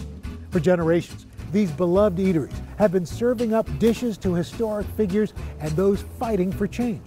First up, we're heading south to visit an iconic establishment that defied segregation laws. New Orleans, a city that celebrates food, music, nightlife, and history. In the Big Easy, you'll find many historic sites that played a vital role in the civil rights movement, like William Frantz Elementary School, where six year old Ruby Bridges broke barriers in 1960, or New Zion Baptist Church, a hub for activists, and Treme, one of the oldest black neighborhoods in America. Here, you'll find the only restaurant on the U.S. Civil Rights Trail. Dooky Chase Restaurant definitely is a historical landmark institution here in New Orleans. This popular eatery is a living testament to a woman who changed the face of fine dining in America, Chef Leah Chase. I'm Stella Chase Reese, and I am the president of the corporation here at Dooky Chase's. And I'm Edgar Dook Chase IV, and I'm the executive chef here at Dooky Chase Restaurant. Stella's grandparents first opened Dooky Chase's as a po' boy shop, becoming a full service restaurant in 1941. African Americans didn't have that place to celebrate, to celebrate birthdays, to celebrate promotions, to celebrate good grades, weddings, proms. So they opened up a place where that could happen. But the next generation had a new vision for the eatery. It was my father, Edgar Chase Jr., and his wife, Leah Lange Chase, that continued the legacy that my grandparents started. Dooky Chase Jr. was an avid jazz musician who promoted some of America's first integrated concerts. His friendship with all the musicians, Ray Charles and Duke Ellington and Sarah Vaughan, we would hear stories of them after their performance coming here to dine at Dooky Chase. And Leah was determined to bring an elevated dining experience for her black patrons. She wanted the best china, she wanted linens, she wanted them to be served the best they could be served because she didn't want our community to be deprived of anything else than any other community had. That community was on the brink of a revolution, years in the making. Post 1865 and the Emancipation Proclamation, with the masses of African American people now free, the country was overwhelmed hierarchies needed to be reestablished. It was important from a white supremacist point of view that black folks knew their place. by the late 19th century, Jim Crow laws legalizing racial segregation in the former Confederate states. Those laws were further cemented by the Supreme Court case Plessy versus Ferguson, which upheld the separate but equal doctrine.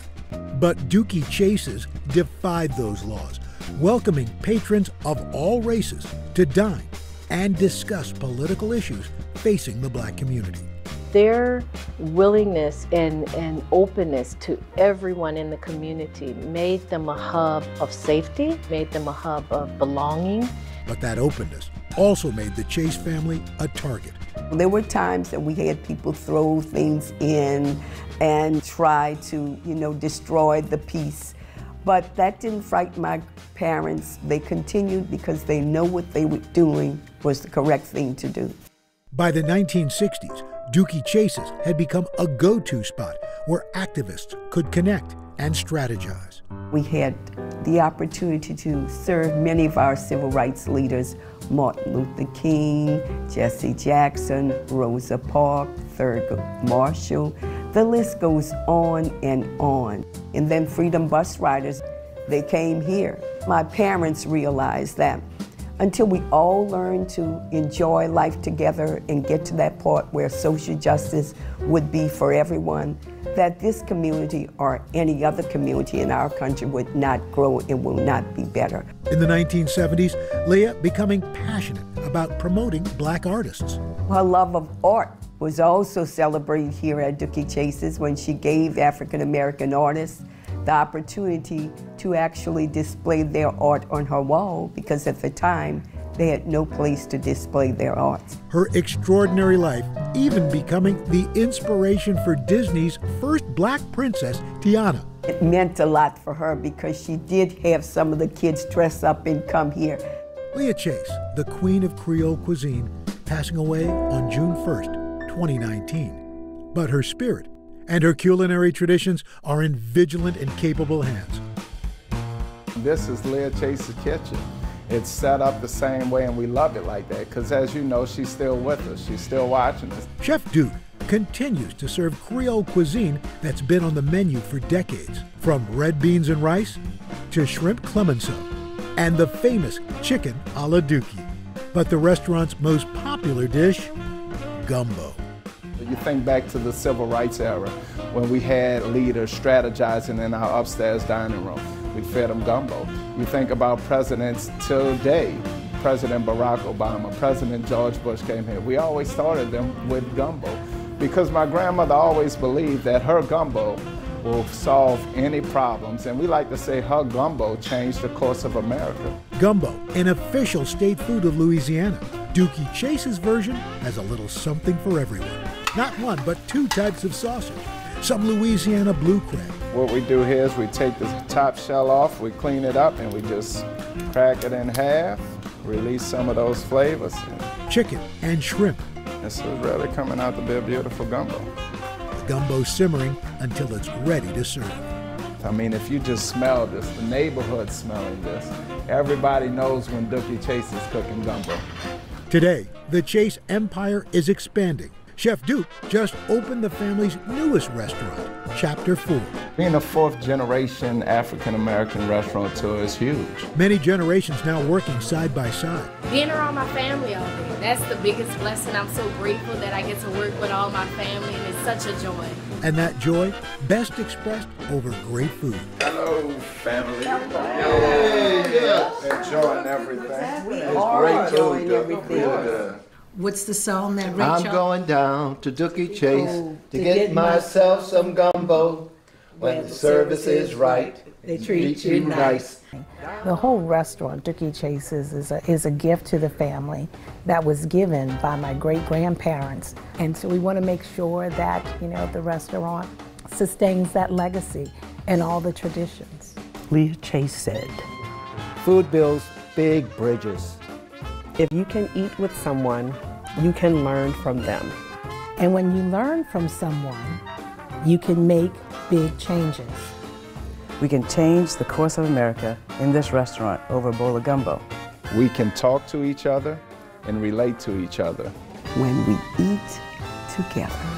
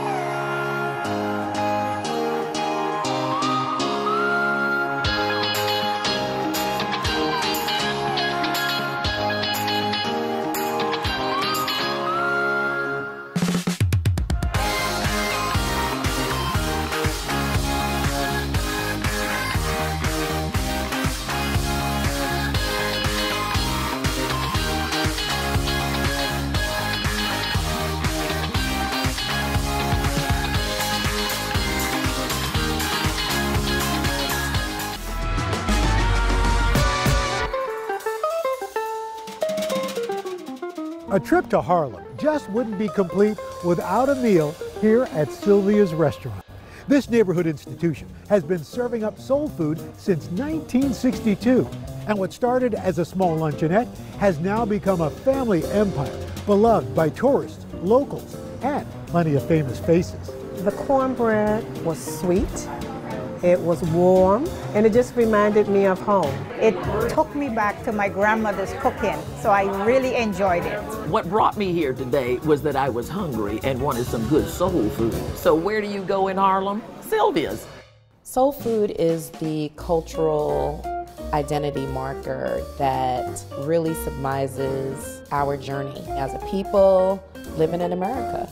Tren'ness Woods Black is the granddaughter of the legendary queen of soul food, Sylvia Woods. Sylvia grew up in Hemingway, South Carolina, where she met her love, Herbert Woods, when they were 11 and 12. They fell in love picking beans after school. But this entrepreneur to be wasn't content with life on the farm. My grandmother, um, she came to New York when she was 16. She knew that this was a place that was more palatable for African Americans to like really live. Sylvia and Herbert were among the estimated 6 million African Americans who left the Jim Crow South during the Great Migration. They had came, you know, north to escape all of the atrocities that were happening and to really be in control of their lives. If you were black, you know, Harlem was the place to be. Sylvia finding work at a diner Johnson's Luncheonette, which she eventually purchased from the owner with a loan from her mom. Mr. Johnson knew that my grandmother would make it. And on August 1st, 1962, Sylvia's restaurant was born. As the cultural center of black America, Harlem became a crucial site for demonstrations and organizing by leaders like Martin Luther King Jr. and Malcolm X, according to Professor Psyche Williams Forson. The heart of civil rights is America because it wasn't limited to one, one area. Though folks who were in the North, they still experienced poverty and inequality and voter suppression and homelessness. Sylvia made the restaurant a welcoming place for activists. She played her role as ensuring that the community leaders had a place to, to meet and to commune and to strategize. Everyone dined at Sylvia's. Dizzy Gillespie, Ossie Davis, Ruby Dee. You know, these are actors and actresses that were on the front line. By the 1960s, the movement had achieved major gains, like the historic Brown versus Board of Education and successful boycotts. But racial discrimination and police brutality against black Americans persisted, resulting in deadly riots throughout the decade. Two devastating events, just four years apart, sparked destructive riots throughout Harlem. But Sylvia's was always spared. Harlem was on fire, and my grandmother kept the restaurant open because the grocery stores were not open, nothing was open. You know, people couldn't feed their kids. And she was in that kitchen making food so that this community would have something to eat. This strong connection with Harlemites has continued for decades. We have guests that eat with us every single day. And sometimes we have people that eat with us multiple times a day. Coming up, I learned the secret to Sylvia's famous fried chicken.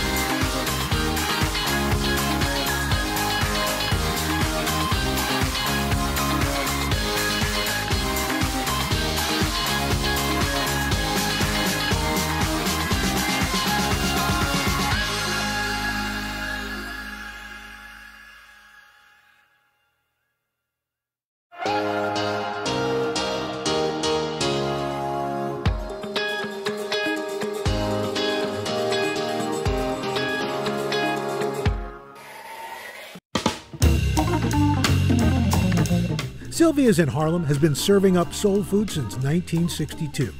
And this native New Yorker couldn't wait to get back into their historic dining room. Oh, wow. it's It's so so good good to to see you. It's been so long. It's been way too long. Missed you. I've missed you too. But you know what? The good thing about Sylvia's is it's like I saw you yesterday. It's coming home. It's coming it's home. It's coming home. The dining room walls showcasing famous faces and political figures, along with treasured memories.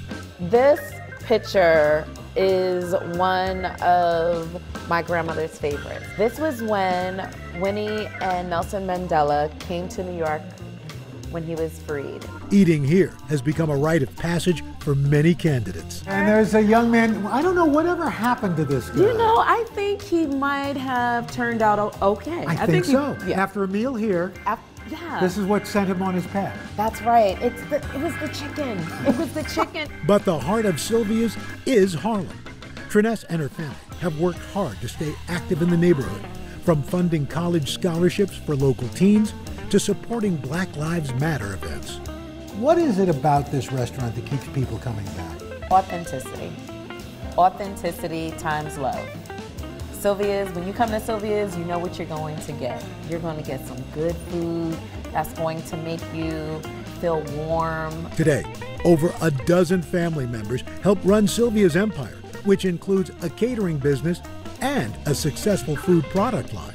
What's it like working with family? Because I know your brother Marcus, your baby brother Marcus, baby is there in the kitchen. What's that like? Watching my brother throw down in the kitchen is something that we always knew was going to happen. Executive chef Marcus Woods has been at the helm for five years. Sylvia's grandson, it is so good to see you. Yeah. And you're back here, you're running the kitchen. What what's that like for you? I mean, knowing that this legacy your grandmother's had. I'm honored. I'm honored. I still get to cook for people like you and the, the community of Harlem. So as long as I can do that, I'm happy and always honored and blessed. You know, the amazing thing is food brings people together. You look in that that that dining room, everybody's there. Yes. Well, Syl- Sylvia used to always say that the first time you come to Sylvia's, you're a guest. The second time, you're family. According to Marcus, fried chicken, the most beloved menu item. So, did your grandmother teach you how to do this? Yes, she taught me how to fry chicken, everything down to the seasoning. She would always say, you know, moisturize chicken and marinate it like you're putting lotion on a baby. Now, now I can't get that image out of my head now. Exactly. One secret, Chef Marcus first applies a dry rub to marinate the chicken. No, is that just plain plain flour? Yeah, this is plain flour. We Uh-huh. add a little coarse black pepper to it. Uh huh. Drop them all in there. You just want to give it a little mix. Again, the baby metaphor. The baby metaphor. Like you're tossing the baby. After the chicken's coated, it gets a gentle shake. Then it's into the deep fryer. That looks like tender love and care right there. Oh, see yeah. How gentle he's putting it in there. Putting the baby to bed. Yep. They'll let you know when they're ready to wake up. What's the best part of working here? That every day when I walk in, I get to feel like my grandmother's still with me. Ah. Yeah. Wow. Like I feel her. I, I can really feel her presence in this place, and it reminds me every time you're feeling a little lazy. It's like, all right, she's watching. You better pick up your pick up the pace. And she treated everybody the same. Uh, Celebrity, normal person, worker, dishwasher, cook, chef. I don't know if I can ever live up to who she was, but I'm going to. I'm gonna try. She was an amazing person. After about 15 minutes, golden perfection. Wow. That looks perfect. Now, know you're a thigh person, This is, so I I know am a what you're thigh going person. for. Oh, I remember how good this is.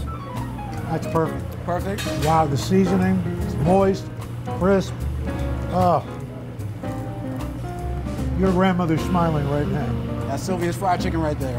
You treated the baby well. Mm-hmm. Marcus, this is fantastic. It's so great to see you. Yeah. If, if you don't mind, I'm going to take this piece to go. Oh, I'm gonna pack up a whole bunch for you. Thank you.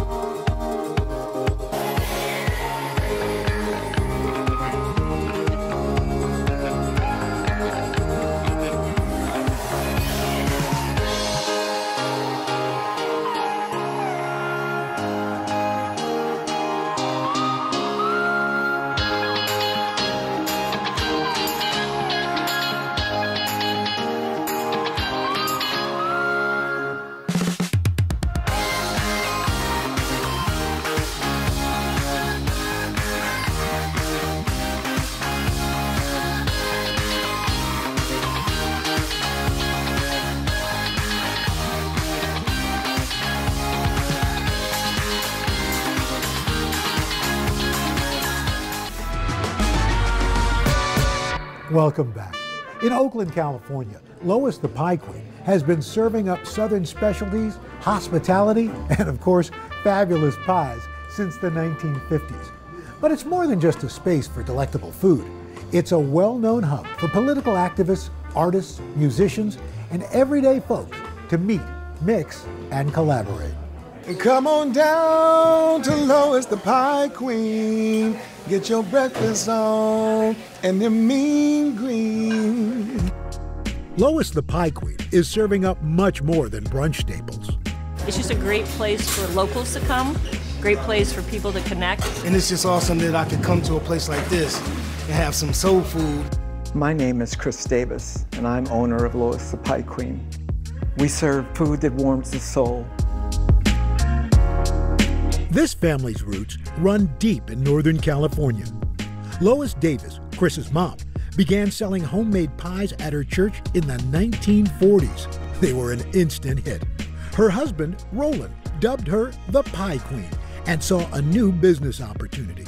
My dad was a chef at B&G Foods in San Francisco, and they combined both of their efforts to open up the restaurant and serve breakfast, lunch, and dinner. In 1953, the duo opening their Oakland restaurant. So my mother ran the restaurant for 40 years, and uh, it started at 4.30 in the morning for her and ended at 11 at night, and uh, she was a pure perfectionist. Lois perfecting recipes she enjoyed growing up. The recipes were my grandmother's recipes. My grandmother was from Texas, and they have maintained the test of time. All of the items that are on the menu were pretty much on the menu when my mom started the restaurant. From key lime pie topped with raspberry jam to banana cheesecake, sweet treats are always popular here. But there are plenty of savory staples that keep customers coming back every morning. And there's one dish with a special place in many folks' hearts. You might not find salmon croquettes on the menu anywhere in the Bay Area. The salmon croquettes are part salmon, part mackerel, yellow onions, salt and pepper, Italian breadcrumbs. These croquettes, which originated in the South, were a meal staple for many black families. Most black folks couldn't afford crab, you know, once it became popularized. But in the absence of that, canned fish, salmon croquettes became a major filler. With a couple of cans, families could make an affordable yet delicious meal. Lois's dishes have brought in celebrities from Sammy Davis Jr. to Zendaya. And sports icons like Reggie Jackson ain't here so often, they actually named a pork chop special after him. So here's my wall of fame and some of the special people that are up here. This is Black Panther Party Minister Eldridge Cleaver. All power to the people! In the 1960s and 70s, Lois welcomed members of the newly formed Black Panther Party. The restaurant is a short drive from Merritt Community College, where activists Huey P. Newton and Bobby Seale first met, founding the party in 1966. Chris attended Merritt with both of them. I had Eldridge Cleaver, Angela Davis, Bobby Seale, uh, Huey P. Newton come through the restaurant. Civil rights leaders and organizers and community leaders would come and meet and organize and strategize. There was a lot of uh, electricity in the restaurant uh, when they visited. The Black Panthers have a controversial legacy. The story we tend to hear is one of violence. What we don't hear about as much are the various lunch programs and, and free breakfast, of course. They saw black communities as, in and of themselves, resilient, capable of being self sufficient. Lois and Chris were not members of the party, but it was during this era the restaurant became an important gathering space in the Oakland community for different walks of life. When people come and are needy and ask for food, we always do what my mom did, which was we always take care of them. We always give them a meal. The restaurant expanding this mission amid the pandemic, providing 16,000 meals to locals in need. It is a place for people to come and, uh, and get together and try and figure out how to make uh, our community and our world a better place. Today, that mission to help others has evolved. Chris uses his platform to support local musicians and keep the restaurant buzzy by bringing in younger generations. I believe that that aspect of music and musicianship is something that is in the ethos of the restaurant. Hey, Mr. Jackson, how are you? Good, I'm doing good, babe. Good to see you, man. Good. He recently started a music management company for Wise Men Entertainment that he unofficially runs from the tables at Lois. It's not an accident or a coincidence that you look around and see a lot of photographs of, you know, famous folks. There's a lot of people that he supports. And I don't mean support just by putting up pictures up. He'll cultivate young artists that are looking to get an opportunity to get a platform where they can be seen and heard. Would you like hash browns, grits, or rice? Grits, of course, grits. Chris is determined to keep the restaurant in the family. His son, Corey Jackson, has been overseeing the day to day at Lois for nearly five years. Working with my dad gave me an understanding of not only the hard work my grandmother put forward and how much my dad is trying to fill those shoes, and now I'm trying to fill his. Corey hoping his sons will share the passion for the family business. They can't stay away. They have a job right now. They fold silverware. It's great to see my kids and their Papa Chris bond in those times. Chris thinks Lois would be incredibly proud to see her restaurant continuing to thrive. We are the oldest black restaurant in the Bay Area. It is a tribute to my mom's efforts to support her community and to create a place that was a home away from home and a place that served food that warmed the soul. Say cheesecake. Cheesecake. As you might imagine, keeping a restaurant running for decades is no easy feat, especially in the face of adversity. But with delicious dishes and unwavering hospitality, these historic hotspots have nourished generations fighting for social change. These places now stand as symbols of resilience, inspiring and feeding a new generation of community leaders.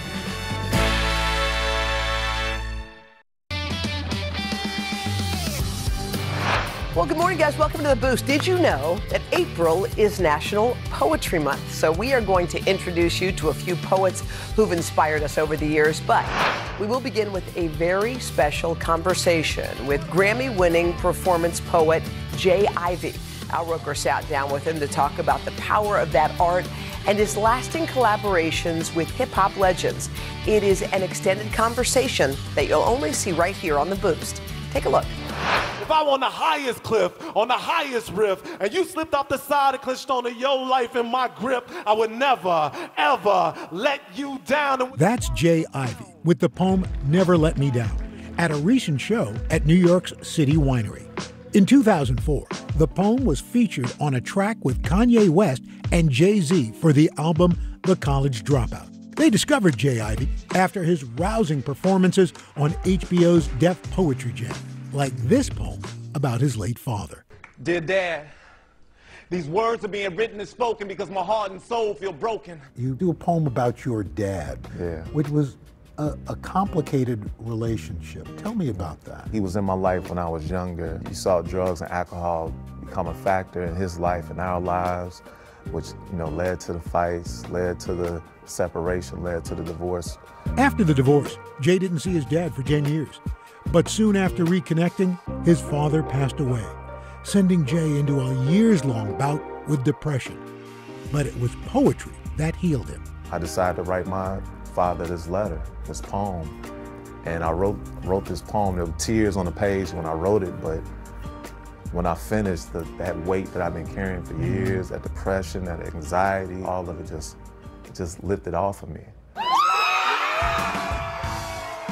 Now, two decades later, he's being celebrated as a Grammy Award winning poet, the first poet to win a Grammy in the brand new Best Spoken Word Poetry Album category for his 2022 album, The Poet Who Sat by the Door. This is for the poets, y'all. Historically, there was a spoken word category, but it included poetry, audiobooks, narration, storytelling, any recordings without music. and audiobooks dominated the spoken word category. Meanwhile, spoken word artists are like, uh, what, about, us? After spending six years advocating for his fellow poets, Jay submitted a proposal to the Academy's Board of Trustees, and they voted to create the new poetry category. I said, well, man, I want to throw my name in the hat. Say, Let me work on an album. Back in high school, I had a teacher named Ms. Argue. What I learned is you're not go argue with somebody named Ms. Argue. In the first track on the album, he tells the story of how he got introduced to poetry by his high school English teacher, Ms. Argue. Miss Argue? Miss Argue. That's a great And name. uh, what I learned is you're not going to argue with somebody named Miss Argue. Man, first time on stage, as terrified as I was, I received a standing ovation. In that moment, my life changed. He continues to collaborate with hip hop and R&B artists, reuniting with an old friend, John Legend, on a new single called Running. The pair first met back in 2004 during his recording session with Kanye.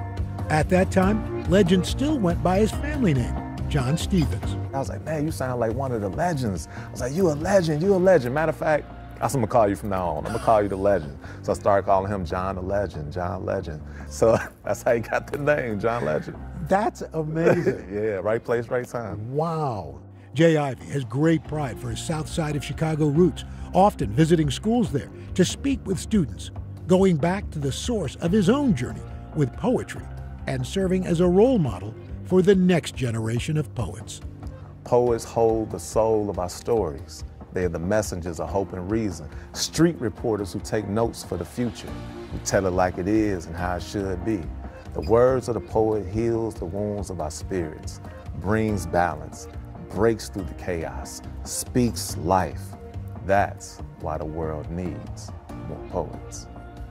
Amen. Amen. Thank you, sir. Thank you. Oh. Thank you. Up next, an author and poet with millions of followers who hang on his every inspirational word. Take a look. If you've ever scrolled on social media, you may have already come across the words of young Pueblo. Diego Perez is the poet behind the pen name, inspiring readers with wisdom like realize how short the walk is from gratitude to happiness, and manage your reactions but do not suppress your emotions. Since he first began sharing his words of wisdom in 2014, Young Pueblo has connected with over 2 million followers and has written two New York Times best-selling books of poetry on topics like self-love, growth, and relationships. When you first started posting your writing, what was your intent?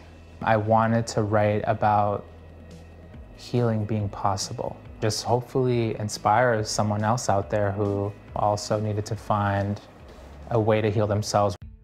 Diego and his family emigrated from Ecuador to Boston, Massachusetts when he was four years old. My mom, she worked cleaning houses. My dad worked at a supermarket. So we were really stuck in a poverty trap. And then I think a lot of that tension just got embedded inside of me as well. When I got to college, I could not deal with any tension that was coming up inside of me. I would quickly try to hide it with, with um, drugs, with smoking, with uh, going to more parties. What was the breaking point for you? It was right after college. This time I pushed my body to the edge and I took, you know, um, an assortment of different drugs. I felt like my heart was gonna explode. I ended up talking to a doctor after that episode and she told me it's what I described to her sounded like a mild heart attack. How has being first generation American affect your overall outlook of life, especially in that point? The first thought is my parents. I saw the immense sacrifice that they made to just give us the chance at a better opportunity. I felt like I was giving all of that up by just filling myself with more and more pleasure just so that I could run away from my pain. I knew that the only way out was to start telling myself the truth. In 2011, Diego started taking small steps toward building positive habits. These improvements eventually led him to daily meditation. So the meditation has given me a way to process these like really tough emotions. And when something challenging happens, I notice that I can feel my reaction, but it's not as overwhelming as it used to be. And meditation gave you the clarity and creativity to write and share. Definitely. I mean, I was never creative before meditating, you know, and I, I didn't go into meditating to become more creative. When the mind becomes lighter and it's not as burdened by past hurt that you carry, um, this creativity bubbles up. Diego's poems have been liked and shared thousands of times. And in his newest book titled Lighter, Diego shares his own journey and advice on how to achieve personal transformation. What do you hope is the biggest takeaway for people who come to you and look to your words? I hope they take away inspiration. It's really possible to transform your life. It's really possible to sort of take that big leap forward in your own evolution. Coming up, we're going to dip into the Today Show vault to revisit some of the stories of some of our favorite poets. Coming up after the break.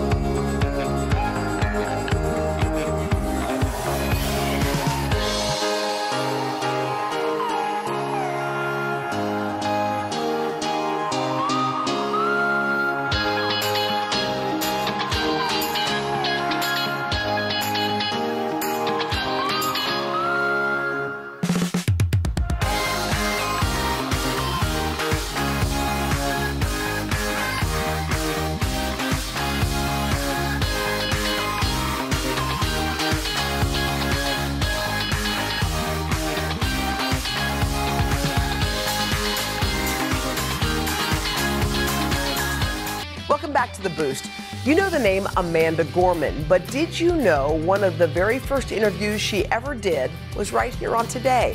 Jenna Bush Hager sat down with Gorman in 2018 after she was named the first Youth Poet Laureate in the United States.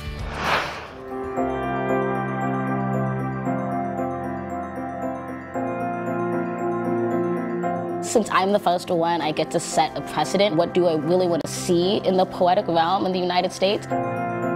Yawning wide as the Pacific tide. Amanda Gorman is the first ever Youth Poet Laureate in the U.S. What is it like to be a first? It's intimidating, and I never really thought that I would be that person who's the first because I remember when I was little reading about people, it doesn't get past me that not only am I the first youth poet laureate, but at the same time I'm the first woman youth poet laureate and the first black youth poet laureate. 19-year-old Amanda was awarded the prestigious title last April at Gracie Mansion in New York City. A lot of your poetry focuses on social change, social justice. Where does that passion come from? Mm, I think that passion comes from my heritage, comes from this place where like I must write. I must speak up because there's been too many people who've been kept from that opportunity. Who inspired you growing up? Oh, my mother. Amanda grew up in Los Angeles, and she attributes a lot of her success to her mom, Joan Wicks, a teacher who raised her and her twin sister as a single mother. Amanda's passion for poetry started in the third grade. Talk to me about when you first knew you loved poetry? Um, I was around seven or eight years old, and my teacher, Shelley, had us reading um, Ray Bradbury's Dandelion Wine. I was like, oh my goodness, Bradbury just related candy to something completely different. That's what I want to do with my life. That's who I want to be. I love that it was a metaphor. You were a Yes. third grader with a Uh-huh. metaphor, and that's all you the needed. metaphor hit home. It was like magic. Poetry has definitely been one of the most stable expressions for me of my identity and who I am. I love whenever I'm writing to have just all these books of people I look up to beside me. What I really like to do is choose like one word from each of like a collection of books I have, make like a word cloud and select them to make a new poem. But public speaking didn't come naturally. Heal or past and will always be our our future. It took courage, determination, and grit for Amanda to get on stage. You've spoken about having a speech impediment. And do you feel like in some ways that led you to poetry? Oh, a hundred percent. And a lot of times I talk about having a speech impediment and the difficulty of literally speaking up for myself. The voice I'm hearing aloud can't pronounce R's, it can't pronounce sh.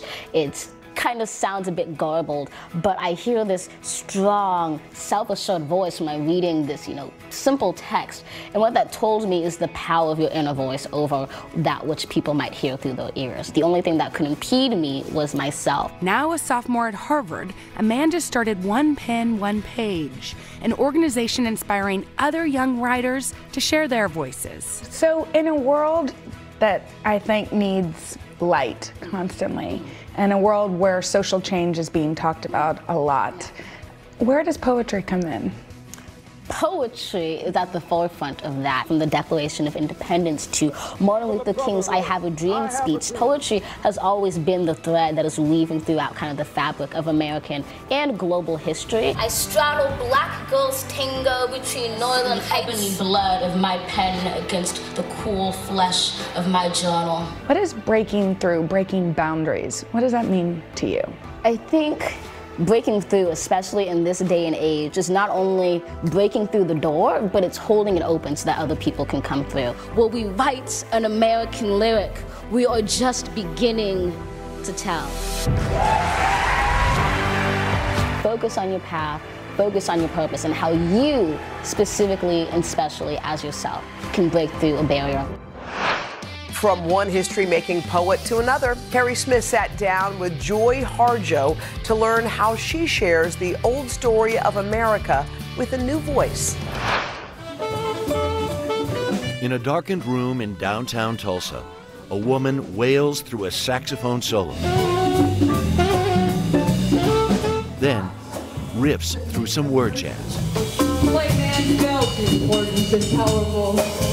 Joy Harjo is not shy about self expression and is rarely at a loss for words. The phone rings one day, and the Library of Congress says, You're the new poet laureate. And you thought what? Lightning went through me. First thing is like, what a responsibility. yeah. Harjo is the first Native American to be named Poet Laureate of the United States. She says it's like being an ambassador for poetry, and in her case, a voice for the seldom heard. You know, this is the power of poetry. It's brought all of us here. What an opportunity, a doorway for Native people. We've been so disappeared in the story of American poetry, American history, and yet we're the, the root of what it means to be an American. Harjo has written award winning volumes on what it means to come from those roots, words often raw and deeply revealing. When I performed and somebody does a really long introduction with all of these things I've done, one time I got up and said, Well, my list of failures is much longer. you would roll out the door. Does that end up enhancing what you then do in terms of art? Of course, because there were times where I was suicidal. What could potentially destroy my mind, my heart, was actually good building material. Her most recent book, An American Sunrise, connects us to the horrors of the forced removal of Native Americans from their homelands in the Deep South. Would you read a couple Okay. of these poems? Um, this one right here. Okay. In Sunday school, we were told Lot's wife looked back and turned to salt. But her family wasn't leaving paradise. We loved our trees and waters and the creatures and earths and skies in that beloved place. Those beings were our companions, even as they fed us, cared for us. If I turn to salt, it will be of petrified tears from the footsteps of my relatives as they walked west. Yeah, we've got a lot of stories. Harjo is well known in Oklahoma. Her Muskogee roots run deep. Here she mentors and tutors young students. It's really awesome to be around her. She's my role model. Like I aspire to be something like her one day. She cool? Yes. Really? yeah. She is generous, a sharer of extraordinary gifts. This new title, Poet Laureate of the United States, fits. Poetry holds so much that we go to them at times of grief, at times of joy, at times of transformation. You'll always find poetry. You can hold it in your heart. You can hold it in your hands. Harry Smith, Tulsa. Just ahead, how one young poet caught the attention of Oprah Winfrey. Stay with us.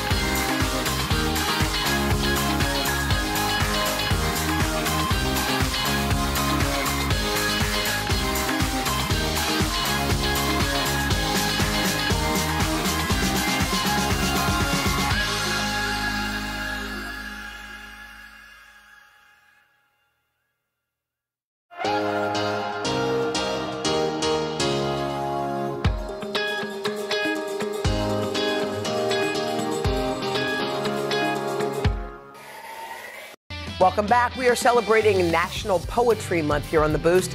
Next, meet the young poet with an inspiring story of passion and perseverance and a mission that caught the attention of Oprah Winfrey. Poetry. What comes to mind? Growing up in Kansas City, Missouri, Marjay Neal suffered a childhood of abuse and homelessness.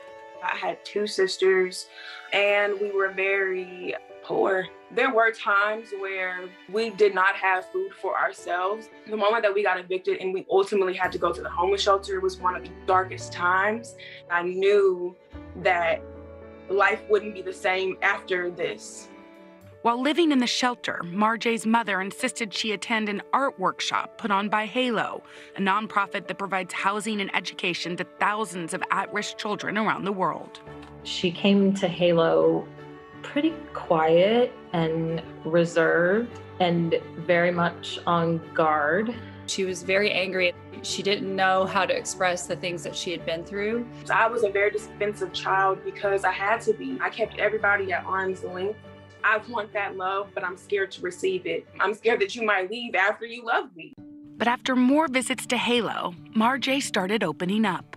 As she grew, her story just started to change a little bit, a little bit. She started having these little pivotal moments. The room was just full of love. There's art supplies everywhere. And as an artsy creative child, I was in heaven. I could tell that she was using words to process the things that she had been through and try to work through them on paper.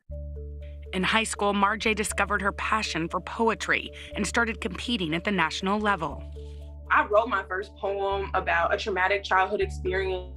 Poetry provides a lot of relief. Like the sky before a much needed rain. She's one of our best poets, individuals in the audience who are complete strangers to are in tears. Um, she's touched them in such a way. When I write, I write in pen because it's permanent. And although some feelings aren't permanent, you have to remember where you come from in order to grow and get to where you've been. Now 20 years old, Marjay is studying journalism on a full ride scholarship to the University of Missouri and returns to Halo to lead writing workshops for teens. Marjay has such an incredible story of resilience to share. She's like a megaphone for these kids who are suffering through the same type of thing that she did. They can see themselves in her. Poetry has saved my life in multiple different ways. If somebody gets something from my poem and my experiences, then my job is done. In February, Marjay shared her story in a documentary that debuted at Halo's annual auction. The event raised $650,000 for homeless youth. But it was Marjay who received the biggest surprise of all. So there's someone else who heard your story and wanted to interview you. Hello. Hi. Hello, Marjay. Hi. I'm so glad to meet you. It was it was surreal. I would never in a million years would have thought that you would be saying my name. When you read your words, you know that that comes from such a deep, powerful, and soulful space. You're a shining example of what is possible for everybody. What a journey for Marjay. She is showing you that artistry can really create a path for success. Where you come from doesn't define who you are, but it can influence where you go. Anything is possible if you put in the work if you move with love and you have passion and purpose. Words can be extremely powerful, especially messages of kindness and gratitude. And a few teachers in Detroit wanted to remind their students just how powerful words can be. Kate Snow has that story. At Roseville Middle School near Detroit, the simplest of projects is reminding students and staff about the power of words. Are you wondering why you're here? Yeah. Reading teacher Stacy Earle had a big idea. What did you ask your staff to do? I asked my teachers, secretaries, custodians, our cooks at lunch to write a card to a student, anyone of their choice, of why they inspire them. Oh.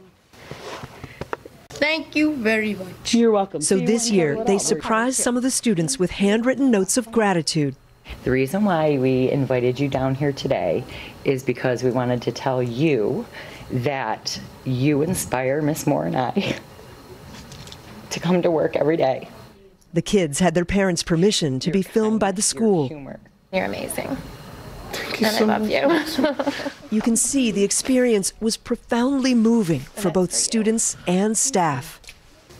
You give me so much love in my heart, and I love having class with you guys. So I wanted to give you and say thank you.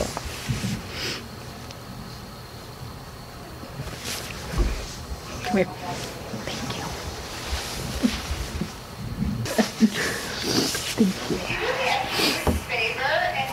Okay, now a real hug.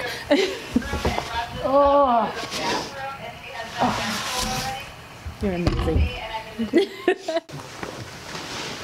English teacher Emily Grimes presented letters to four students, including Amaya Brown. What is it about Amaya that you wanted to recognize? her leadership. I narrowed it down to her because uh, I, I guess the bottom line is that she's shown me that she's there for me as I am there for her. I wrote something for you. Social worker Julie Cooper's message brought eighth grader Alicia Turner to tears. I'm really grateful you're here.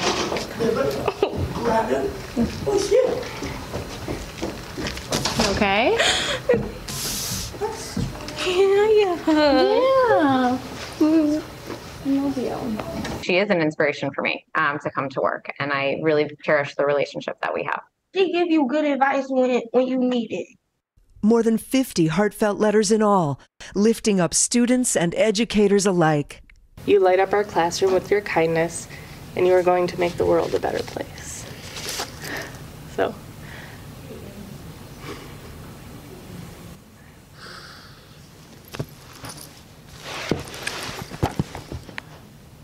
showing up for each other in the most basic but powerful way. For Sunday Today, Kate Snow. Just ahead, a viral video to boost your day.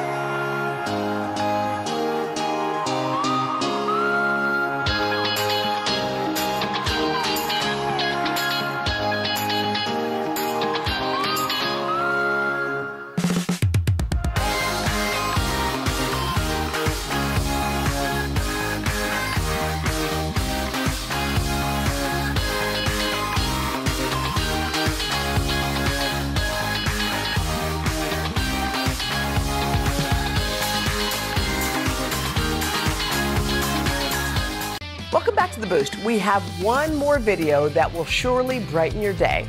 Check it out. All right, when it comes to big awards over the years, you've heard a ton of people say this. It's just an honor to be nominated. but for one elementary school kid in California, it's a whole lot better to win.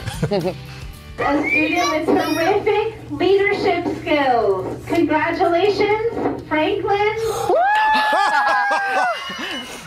Oh my God. Oh yeah, doing the happy dance. Franklin. That's how adults feel Yeah. inside. That's how we, don't, we don't show it, but that's how we feel That's inside. That's exactly right. He took home Oh, yeah. again that terrific leadership awards, first award, very first time. Kid is doing it. That's You're right, Carson. great. That's a beautiful point. Yeah. Kids do on the outside what we think on the oh. inside.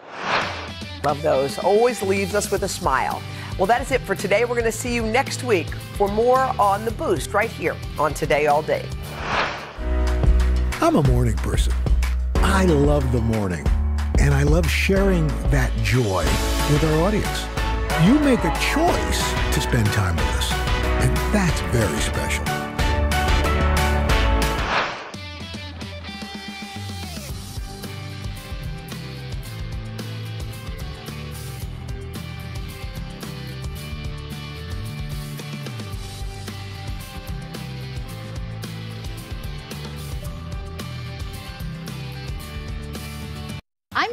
Shop contributor Chassie Post, and each week I'm here with the must have fashion and beauty products at a price you'll like in Style Finder.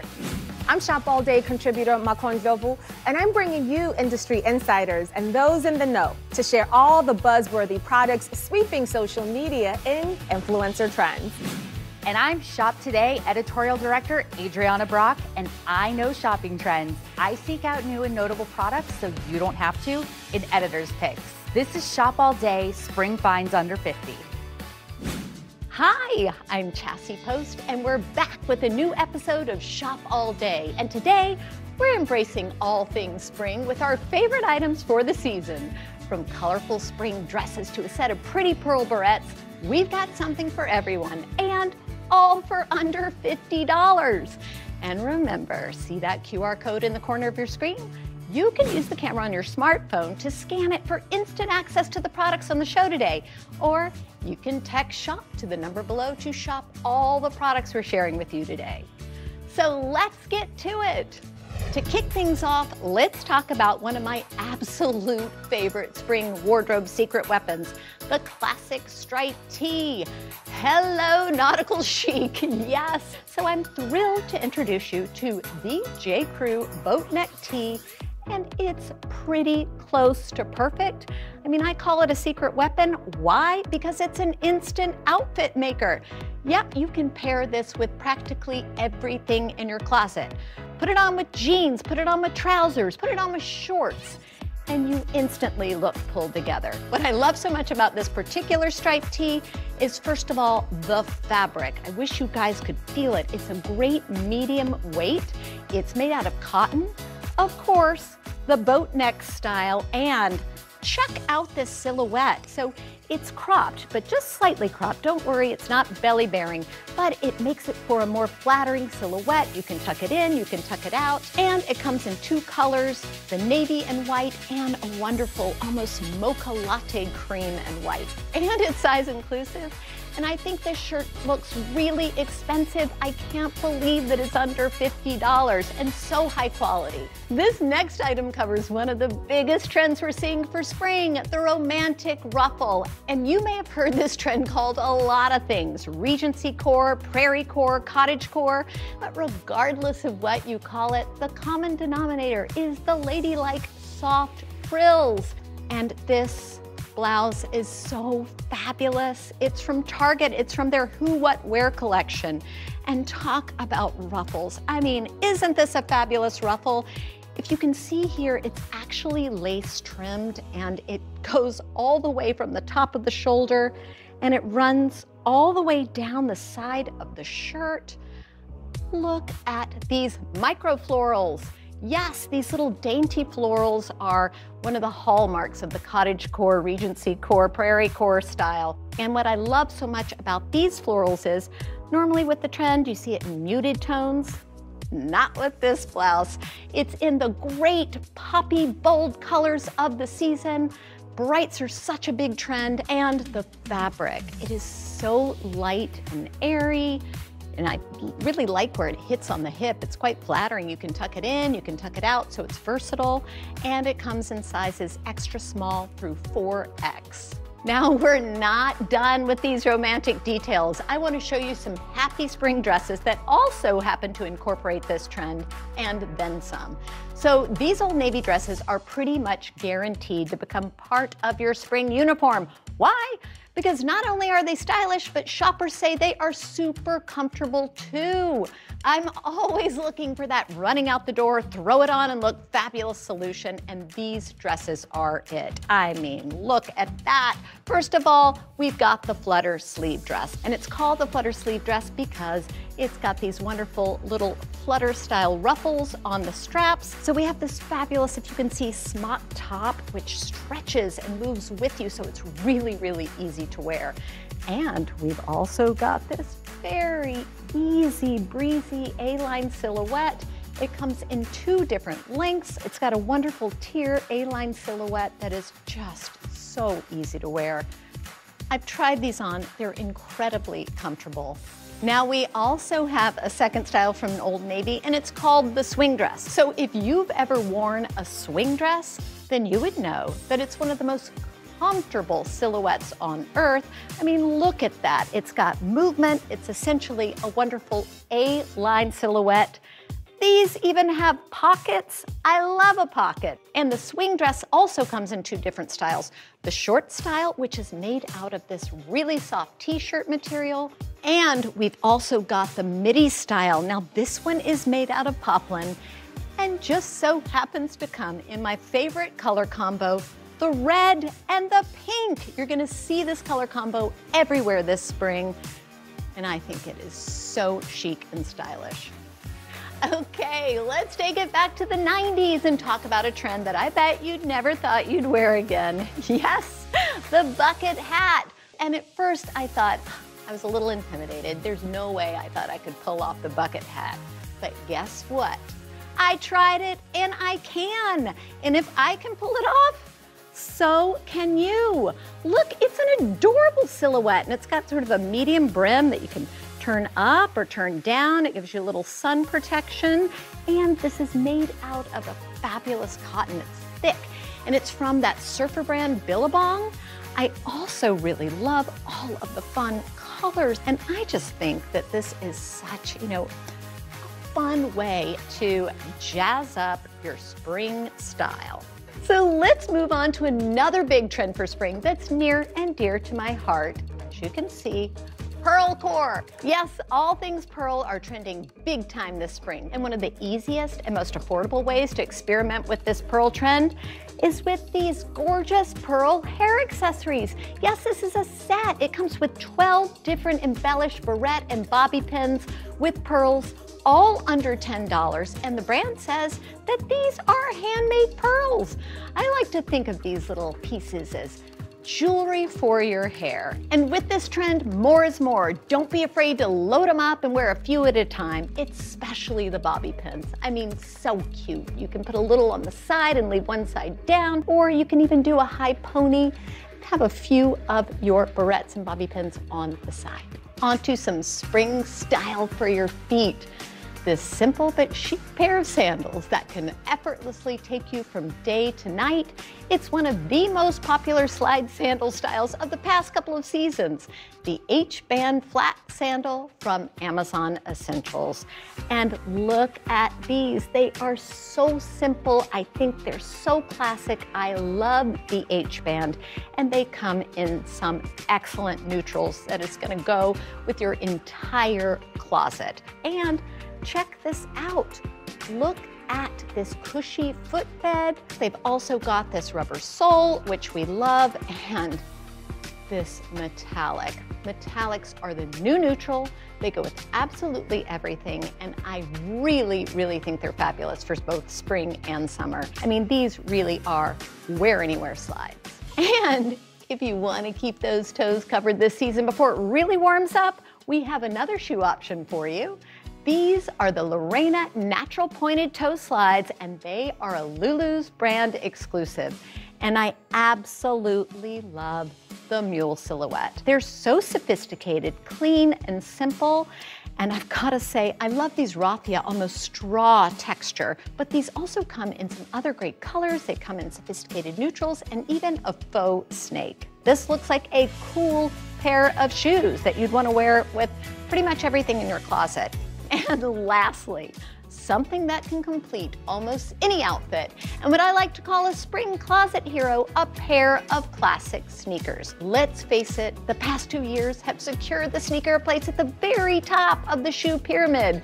Sneakers have arguably been the number one shoe trend for the past couple of seasons, and they are right up there for spring as well. These are also from Old Navy, and they're called the Soft Brush Faux Suede Sneaker, and I like how they have this wonderful sort of faux suede upper and the little silver detail. I think that's really cute. And I can't get over how great and versatile these wonderful faux suede tan sneakers are. I mean, these actually work as a nude. And the brand says that the insole is memory foam, which shoppers are really excited about. And they say it's like walking on clouds.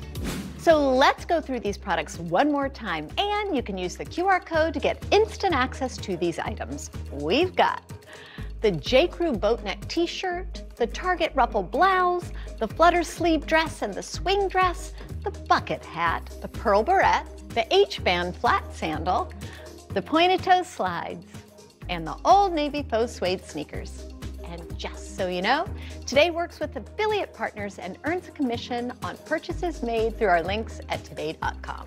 That's it for Style Finder. Up next, Makho Ndlovu is sitting down with style maven and founder of Pencil and Paper Co., Jen Soar. She shares her must-haves for the spring season, from colorful art prints for your home to a bold and stylish pair of sunglasses. So don't go away.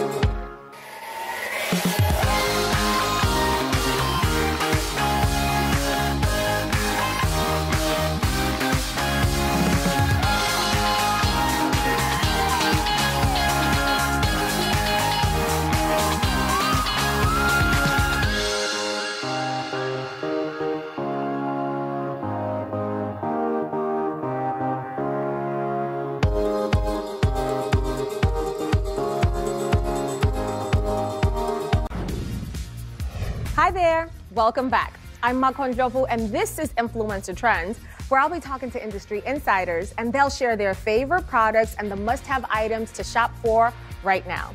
And don't forget the QR code on the corner of your screen. Use the camera on your smartphone and scan it to shop these products, or you can text shop to the number below to shop all the products we're sharing with you today.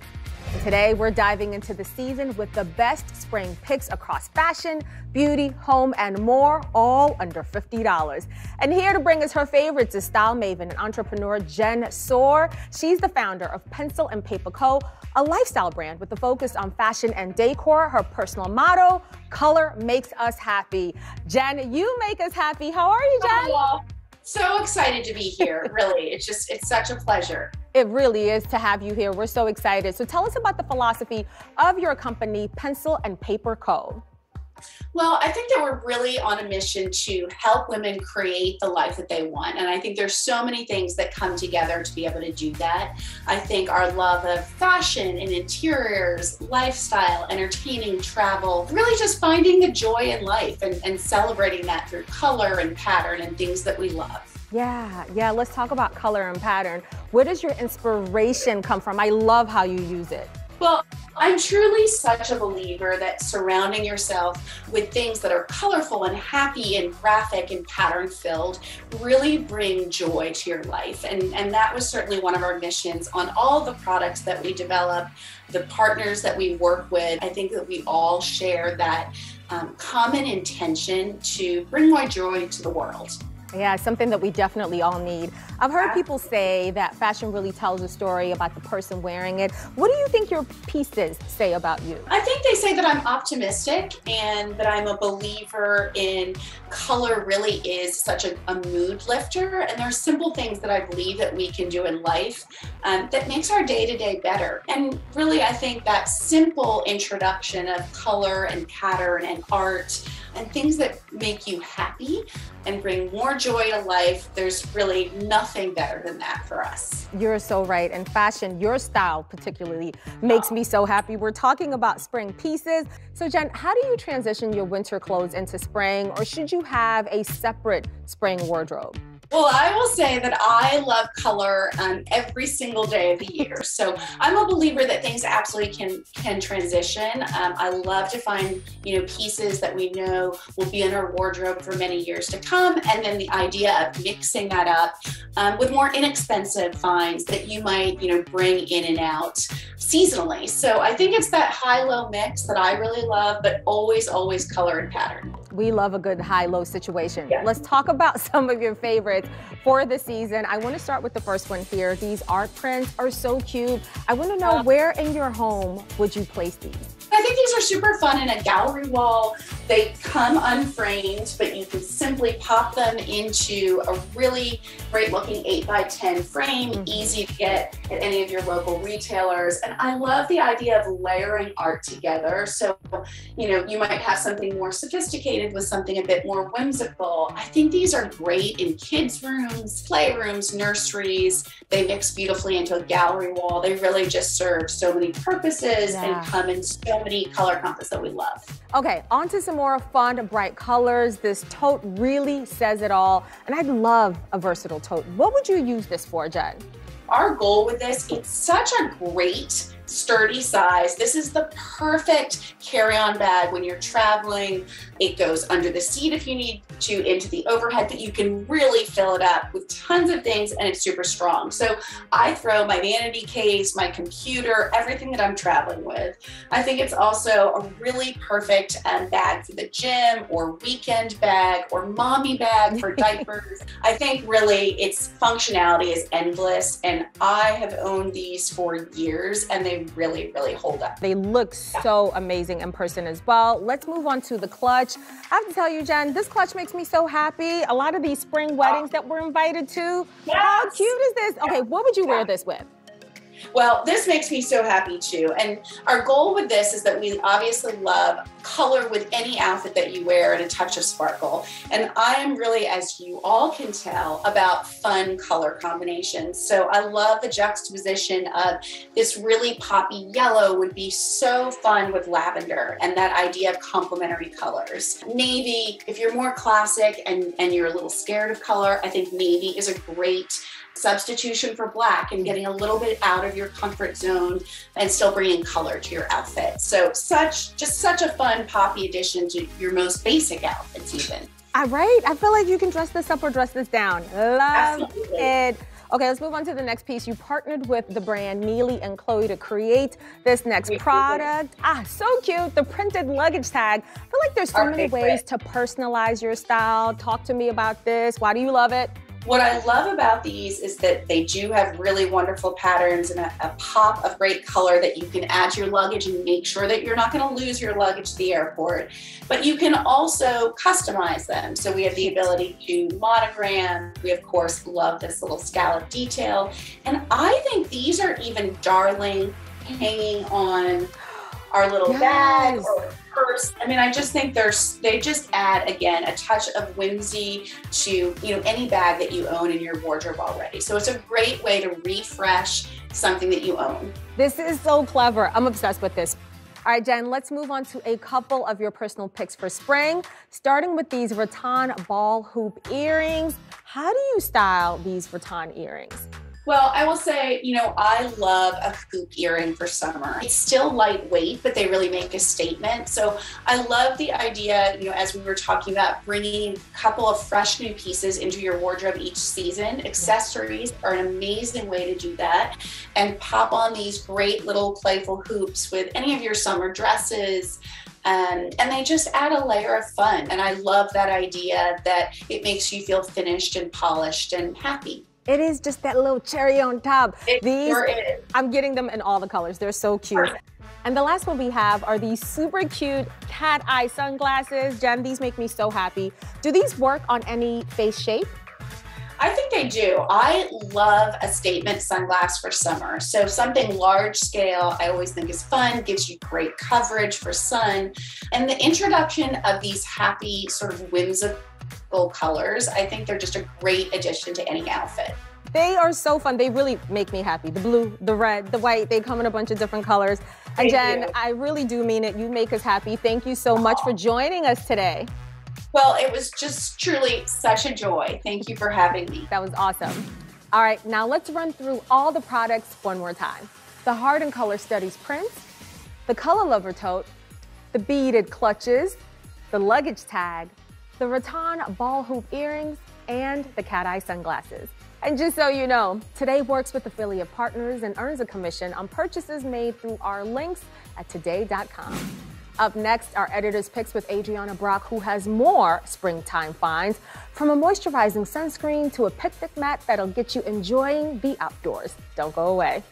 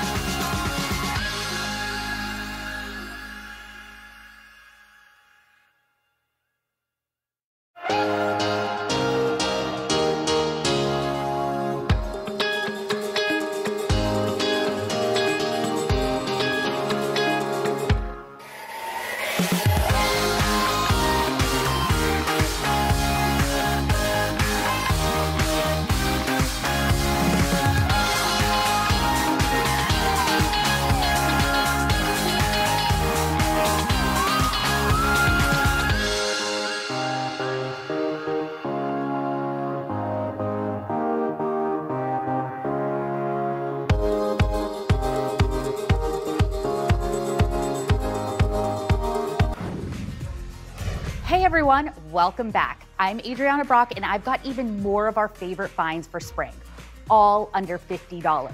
In today's editor's picks, I'm bringing you some beauty picks and accessories that you can use on the go and that pack a really great punch for the value. And remember, see that QR code at the corner of your screen? You can use the camera on your smartphone right now to scan it for instant access to all the products on the show today. Or you can text SHOP to the number below to shop all the products we're sharing with you today. So let's get started. If you're looking to refresh your skin routine for spring, I've got some beauty picks to get you started with an elevated line of body wash from Saltair. So every part of your beauty routine should feel luxurious, and we don't think you should skimp on your body wash. The brand says that the formula is the best three in one. It's a nourishing serum that cleanses your skin. It's really gonna moisturize your skin. The brand says it's also suitable for all skin types, and a lot of reviewers note that it's not too fragrant, which is really nice. They also come in six different unique scents as well as a fragrance-free version. And the bottles are so gorgeous in these beautiful bright colors. Here's a tip from one of our producers. You can even use these as a hand wash to add a pop of color to your bathroom or your kitchen sink. Let's move on to another beauty product that's essential as we start to see more of the sun this season sunscreen. TikTok put Glow Recipes watermelon mask on the map, and it's also responsible for making the brand's first ever sunscreen sell out at Sephora. This one has a fruity scent that smells just like spring, but it's not overpowering according to the reviewers. And you can guess by its name, all of Glow Recipes products are supposed to give you a dewy, lip from within glow, which is hydrating and makes a great pick for anyone that's dealing with dry skin after winter. The bottle comes in the brand's signature pink color to not only brighten your face, but also your day too. Here's another beauty item for spring that you can take on the go with you. This is one of my personal favorites. It's also a fan favorite facial roller from Revlon. So for all of you guys dealing with the opposite of dry skin, this oil absorbing roller is gonna become your new makeup bag must have. Revlon's original volcanic roller went viral last year and the brand upped the ante with its latest innovation. Not only can you soak up oil, but the brand says the new stainless steel ball actually helps to cool and depuff skin on those warm spring days. It's the ultimate skincare set for less than $20. And the brand says that you can wash both balls and reuse them, and you can use them on all skin types as well. And when you're ready to head out the door, I've got the perfect tote with so much space for all your spring essentials. This mesh tote from Amazon is really checking all the boxes. It is so cute, functional, and affordable. And we love that it comes in a bunch of fun and bright colors that fit the spring and summer color palettes too. So if you have spring vacations planned, the mesh fabric is great. You can toss sandy clothes, towels after a beach day. Plus, it's not gonna take up too much space in your suitcase, so you can pack it up. And you don't have to be on vacation to use it either. You can toss a book in and a snack and head to the park this season. It also makes for a great reusable grocery bag since it can hold so much. And that's not the only bag we have our eye on for spring. Here's a little something more chic and on trend. Bucket bags and bright handbags are trending right now, and this affordable style is the best of both worlds. It combines fashion and function, and all you have to do is toss in your essentials and head out the door. We also love that it actually has side pockets inside, so you can keep everything organized, and the drawstring closure isn't just a cute detail, but it makes it so easy to open up your bag and grab whatever you have stashed in there when you're on the go. It comes in faux leather and suede designs, which make it suitable for everything from the weekend to going to the office, and you don't even have to switch up your bags for different occasions. Let's move on to a few items that'll really put you in the spring mood. Grab your family or friends and head to the nearest park with this floral picnic mat from Mountain Warehouse. Whether you look forward to impromptu picnics in the spring or you already have some camping trips lined up for the summer, this is one item you're gonna wanna have handy. The brand says that the mat has a water resistant back so you don't have to worry if the ground is damp. And since it's compact, all you have to do is fold it right up. It's over about a foot long and pop it into your backpack or keep it in the trunk of your car. It also has a really neat carry handle, which makes it really convenient to tote around. And of course, it comes in a bunch of fun patterns that are perfect for spring. And if you like a more traditional look to your picnic blanket, we've got these classic square pattern mats from Amazon. We'll also want this picnic blanket in our beach bag all summer long. And the brand says it's sandproof, waterproof, and it's large enough to fit six to eight adults sitting all at once. And lastly, we've got an item that might come in handy if you want to avoid getting caught in those April showers. An umbrella with a unique twist. Reviewers are going crazy for this umbrella, which they say actually keeps them dry. One reviewer even wrote that this is the only umbrella they've used in Chicago that can stand up to the wind. It's actually designed to funnel water away when it's closed, and it has a huge arc which measures two feet in diameter, which is gonna help keep you covered and dry when it's open. It's $25, which is a little bit more of an investment than the one you may already own, but it's so worth it, and reviewers wrote that they really recommend it. Let's run through the products one more time. The Saltair Body Wash, the Glow Recipe Watermelon Sunscreen, the Revlon Oil Absorbing and Cooling Facial Roller and Refill Pack, the Bucket Bag, the Amazon Mesh Beach Tote, the Picnic Blankets, and the Reverse Stick Umbrella. And just so you know, Today works with affiliate partners and earns a commission on purchases made through our links at today.com. That's it for Editor's Picks. It's been so fun showing you our favorites. Tune in next week for a new episode of Shop All Day Multitaskers.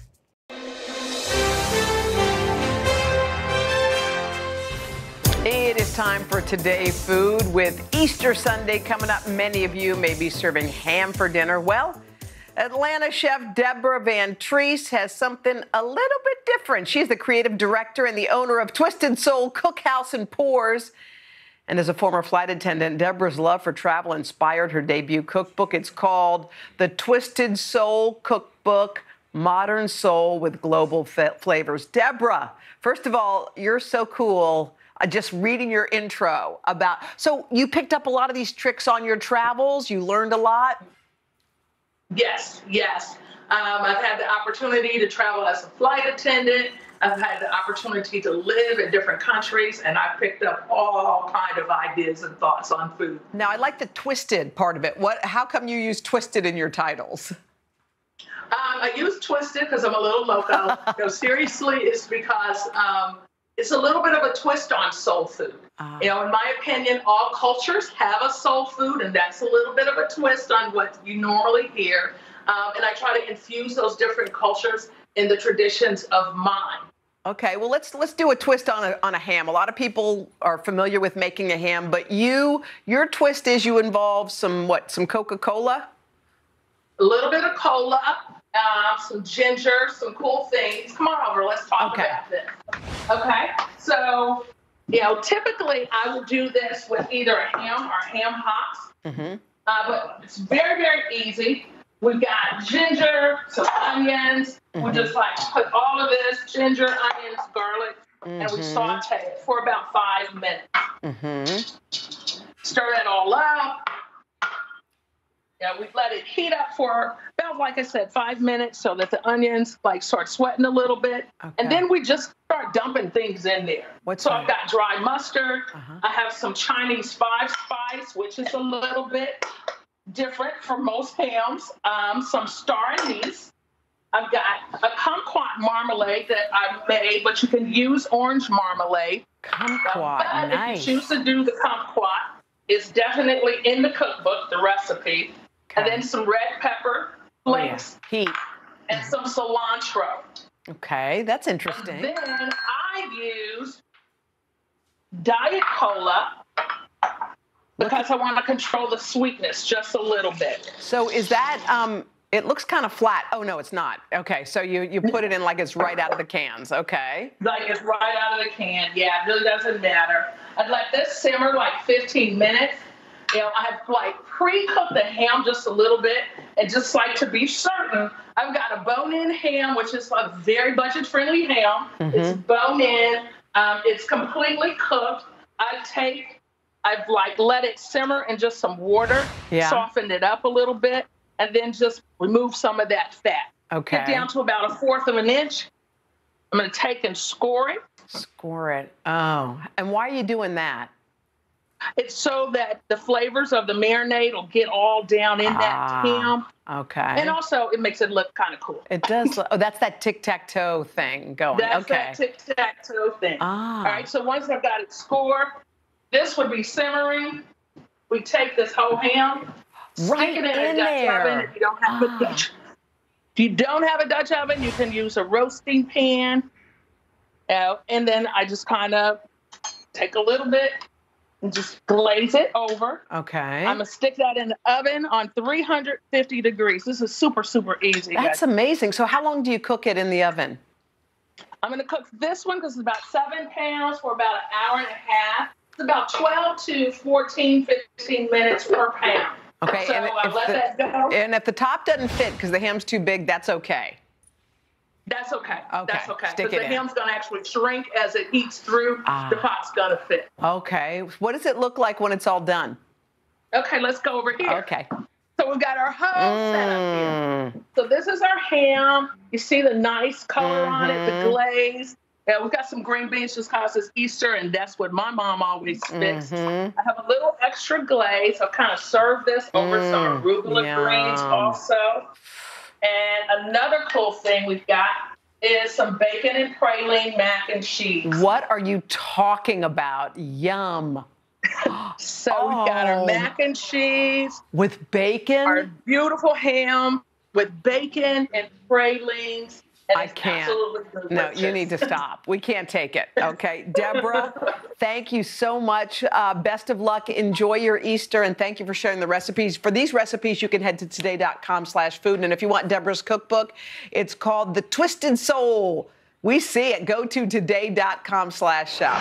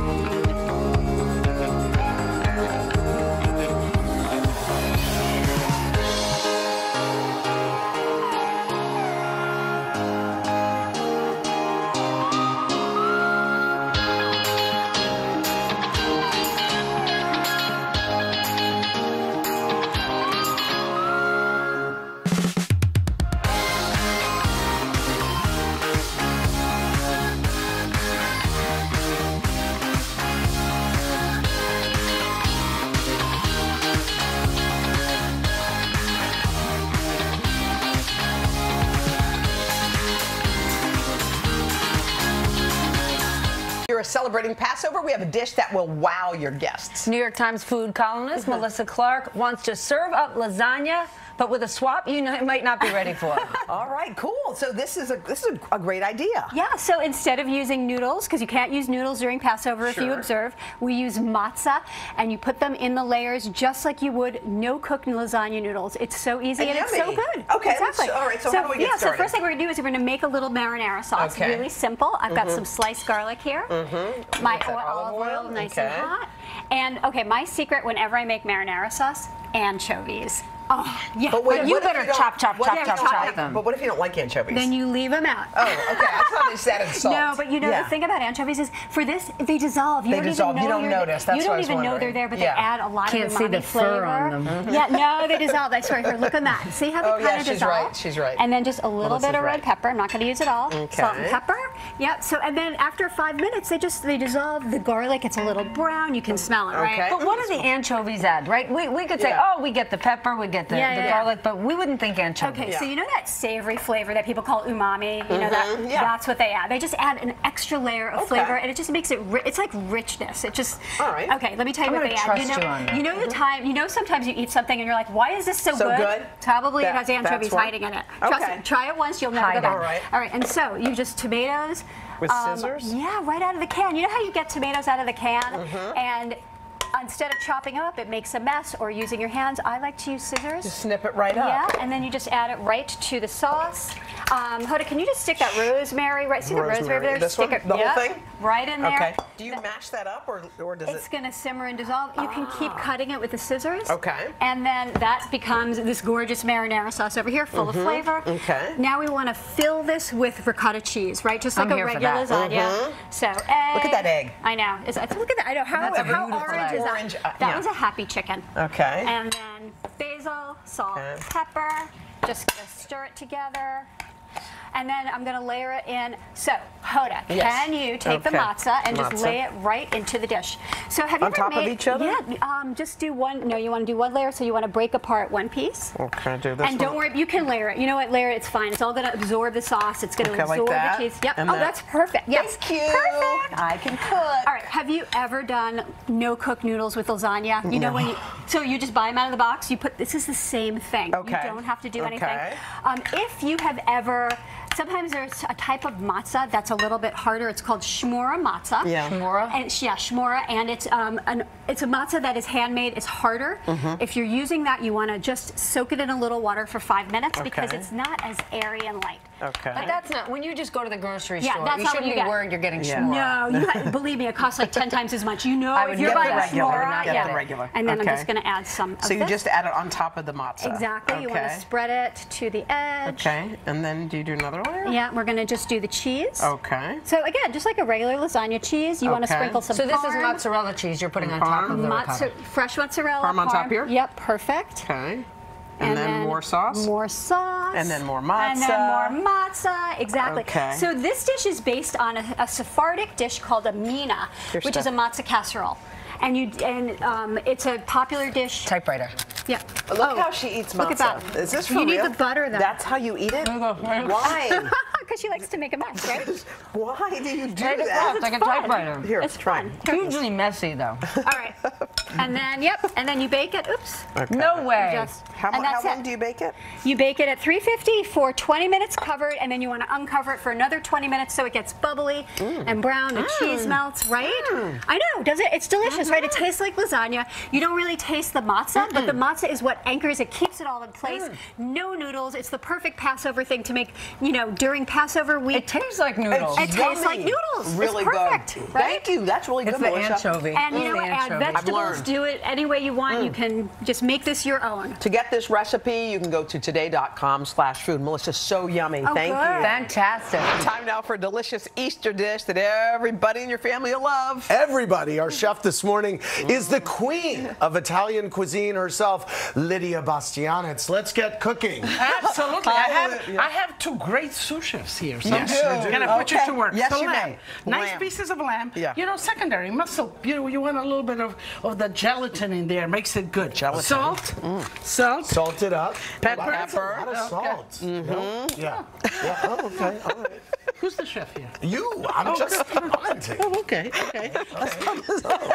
No sass. So now, backtalk. since you want to get so much into into cooking, do, do you want to put these in? I'll put those in for you. Okay, Sure, you put those, you put this in here. and we're gonna brown those nice and brown, Okay. and they're gonna get brown like that. We're gonna have mm-hmm. some celery. Uh, can you squash those for me? What do you mean squash them? These are tomatoes? Yeah, tomato. Like Lucy? Okay. Like this, like okay. this. Oh, like this. Okay. There. Oh, you're. Oh. Wait, what? Yeah. I, I made you wash your hands. Yes, that's why I wash my hands. Good. So, so, you know, this this is a, a one pot meal, and Okay. today people are cooking, and that's how they're cooking In in one the pot. kitchen. Yeah. Yes. The desserts, the uh, the desserts come after, after in one pot, but the vegetables and the meat and the beef and all of that. So that you get it nice and brown. Nice and brown. We Boy, have. really got a close up of me doing this tomato grinding. You're doing a good job. Thank you. That's Is it done? Yeah, yeah. All Yeah. Here I have even ready Okay. a wet towel for you. You. Yeah, Let's, yeah, you know, we do like. There Okay, you go. you. Oh, no. Okay. So. Got it on my shirt. Okay. You did? No, everything's okay. What do we do? What do we do now? We continue the, the cooking part. Okay, Yeah. yes. So in here we put the onion. Uh huh. Okay. What's in there? You, just so you took the Onion. lamb out of there, right? The You just- lamb is out. Yeah, I got but it. But all the remnants of the lamb, you Yeah. want that. You Yeah. want I that. love that okay. onion. So okay, you can mix that. Put some salt in there, and uh, you can put the bay leaves in there. Bay leaves. Bay- yeah. oh, bay leaves. You put salt. Where you go? Oh, Okay. put the salt. And Put what's the this? salt. Okay. Don't do That's that yet. and, and mix. Put salt. Put salt. Oh, Nice put more mix. salt. Mm-hmm. Okay. Yeah. Boy, you really salt it up, don't you, Lidia? No, I don't. That's enough. now you do it. Well, you told me okay. to. You asked for this. Doing what you this told is me the oregano. Dry Oh, oregano. Oh, you yeah, know you yeah, buy it, but buy it on on on little sticks like this. This Okay. is real from Sicily. And what you do, you just Look. squeeze it like this. In Oh, there. crumble it. So it's the Ah. real deal. You want to try? Uh-huh. Not, not the whole thing. Just Oh, a, okay. Well, I mean, yeah, that is a little My too much. goodness. All A little well, I paprika. followed your salt lead. Pinch paprika. or dump no, the no, whole you can, thing. You can dump the whole thing. Yeah. Okay. Yeah. Oh. That whole thing. Wow. And we're going to put up. the celery. Okay, celery. Okay. I'm, I'm, right. I'm over here busy. Okay. Yeah. Okay. Yeah. You're you- still. Now, Yep. no, no, I'm going to get out of the way here. You guys are doing Okay. fantastic. Okay, Hold now it. Put the tomato in yet? Yeah, go ahead. Yep, Put the tomato right in. All right. Okay. Ooh, that's Okay. finely ground tomato. Well, you did a good I job. know. Ah, you did a good job. Yes. So, Hoda, Yeah, are, we- are we going to keep him in the kitchen? Yes, I think Andy's doing a 10 plus. Uh, you like Thank to, you. you. like to yes, he is. Okay. I mean, I'm not. I have a nice kitchen. What does that get you? Do you No, cook? me about it. Not really. I need to. Yeah, here get we are. Okay, so Yeah. take take tips. Okay. Now you can put Hoda, you can put the me to do meat back in there, Okay. and you let it cook for about an hour like this. Oh okay? wow. An hour. Put a top on it. Yeah, Low we'll put heat. a little bit of water, let it simmer. This is one of those braising. This is one of those dishes. Takes an hour, an hour and a half. Uh-huh. But at the end, you really have this mellow meat that sort of breaks Mellow apart. meat Okay, on and this is And what's, that, this what's is that veggie down there? that's squash. Oh. So after an hour and uh, 10, 15 minutes, you touch it. If it's done, we add the squash to it. Uh-huh. Okay. You're busy Okay. cleaning your Yeah, hands. I'm just cleaning myself. Good, good, good. Good. So there you go. Do you like squash? I mean, You know, I know, I know Hoda's fla- uh, flavors. I know what Yeah, she likes. Do I you know. like squash? Do I like squash? No, he Yeah. doesn't. He doesn't. He doesn't. Um, I mean, yeah, I like it. It's good for you. Yeah. Yeah. Very so good. now, Not the squash, guy squash doesn't take that long to cook. Right. You pick it up full speed. Okay. You want it Okay. to boil, to cook, Okay. and this is how it ends. And this is how you taste it now. Beautiful. Let- Here, Hodes. Okay. Okay? Thank Let me you. know what you think about it. Hey. No, it's going It's- to be yeah. Totally yummy. Yeah, it'll be really good. And you don't want to overcook the, the Lamb? squash. Oh, squash. The squash, you want, the lamb, you want sort of mm. fall up. You like Yummy. it? very good. Mm. I'm not a mm. big lamb guy. That's You're great. surprised. It's mm-hmm. very good. Mm. I'm not surprised. We're letting you. Okay, come this way. Let's go Yum. dessert. Let's go. Ooh, yum. Stra- Let's now go this is what I like. Now mm-hmm. this is dessert. You know what? Okay, this is good. simple. So you have done some work there. Yeah. And just the assembling. You know, this is Italian. In Italian cuisine, it's called dolce al cucchiaio, Okay. spoon dessert. Yeah. Like mm-hmm. tiramisu is a spoon dessert. Yes. Okay. So we do. You have some strawberries. Dump Here. those in. We don't have much time, but we'll Yeah. go ahead and assemble. Some liquor. Have to go to break. Liquor, I know, okay. we sure Yeah. do. Okay. And But then we'll just assemble. No, Don't this one is marinated. Is this on Assemble with this. This recipe. Here. Huh? So you put strawberries, those And Let, let me. Let me. Right. Okay, I think we got to go to break. But the recipe is at today.com slash food.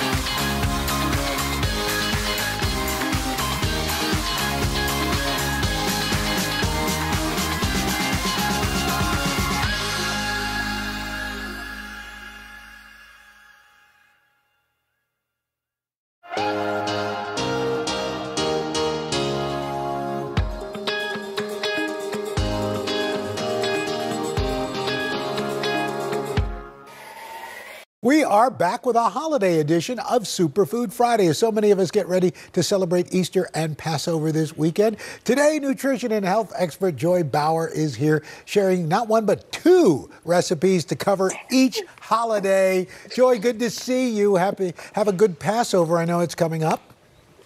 Oh, thanks so much, Alan. Yeah, we have two super fun, super yummy recipes. And I'm going to start with Easter. We are going to make these adorable Easter bunny egg cups. Ooh. And so the the first thing I did, because I wanted to incorporate a lot of nutrition, Mhm. I sauteed some onion and bell pepper Nice. and got them nice and soft and got a lot of the water out. And really, you can use any veggies that you want. And if you have finicky eaters, you could skip the veggies as well.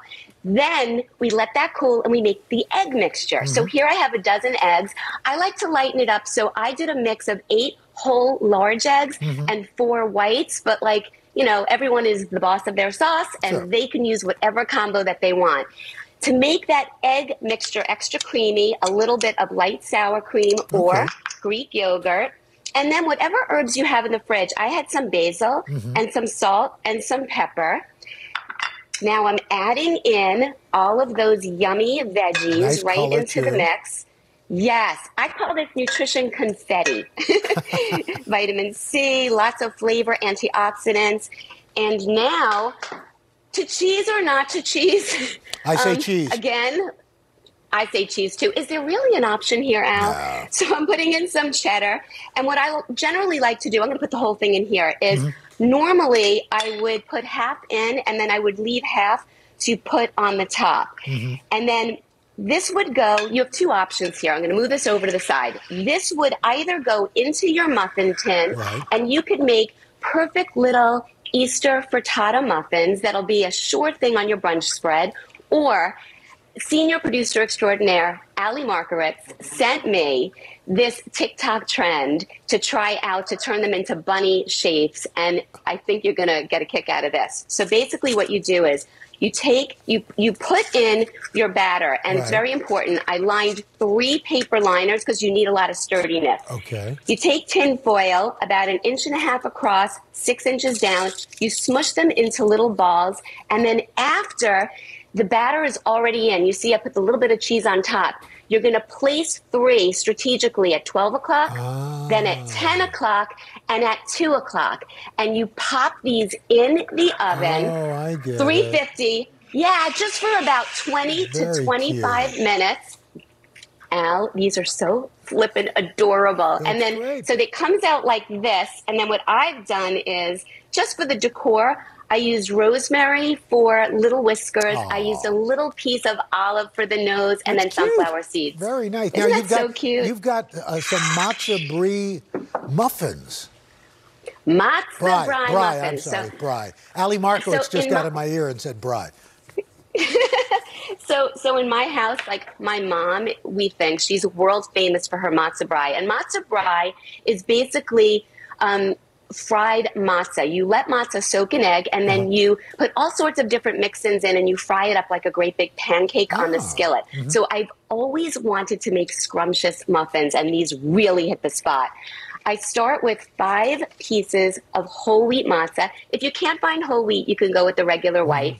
And I basically crunch them And up. these aren't egg matzahs. These are regular, plain old matzah. Any matzah will work. Okay. Any matzah will work. Because then what I'm doing is you see that I'm crunching them here, and what happens is the whole wheat brings the extra fiber. Right. And then I add a little bit of water on top and I let it soak Yep. for about, see this, for Okay. about two minutes. Then you want to drain it off. And now I'm adding in some eggs. I'm adding in a little bit of butter. If people want to skip the butter, you can use a neutral oil Mhm. like um, avocado oil or grapeseed oil. Now I have loads of chopped apple because this is going to be a sweet, cinnamony apple maple version. A little bit of maple syrup. We've got cinnamon because cinnamon makes everything a little see bit better, little and some salt. Vanilla extract for the win. And then you mix this up, and I'm going to show you what this looks like. Al, oh my goodness, we cannot get enough of these. And I also Oh, have a savory version Mhm. that I'm going to show on Instagram. Joy, those great? look fantastic. Thanks so much. You have a great holiday. We can't wait to see you here in the studio. That's what we're looking for. Oh, and I'm wishing everybody a wonderful, loving Easter and happy Passover. Thanks so much, Al. Okay, take care, Love Joy. you. For these recipes, we love you too. Head to today.com slash food.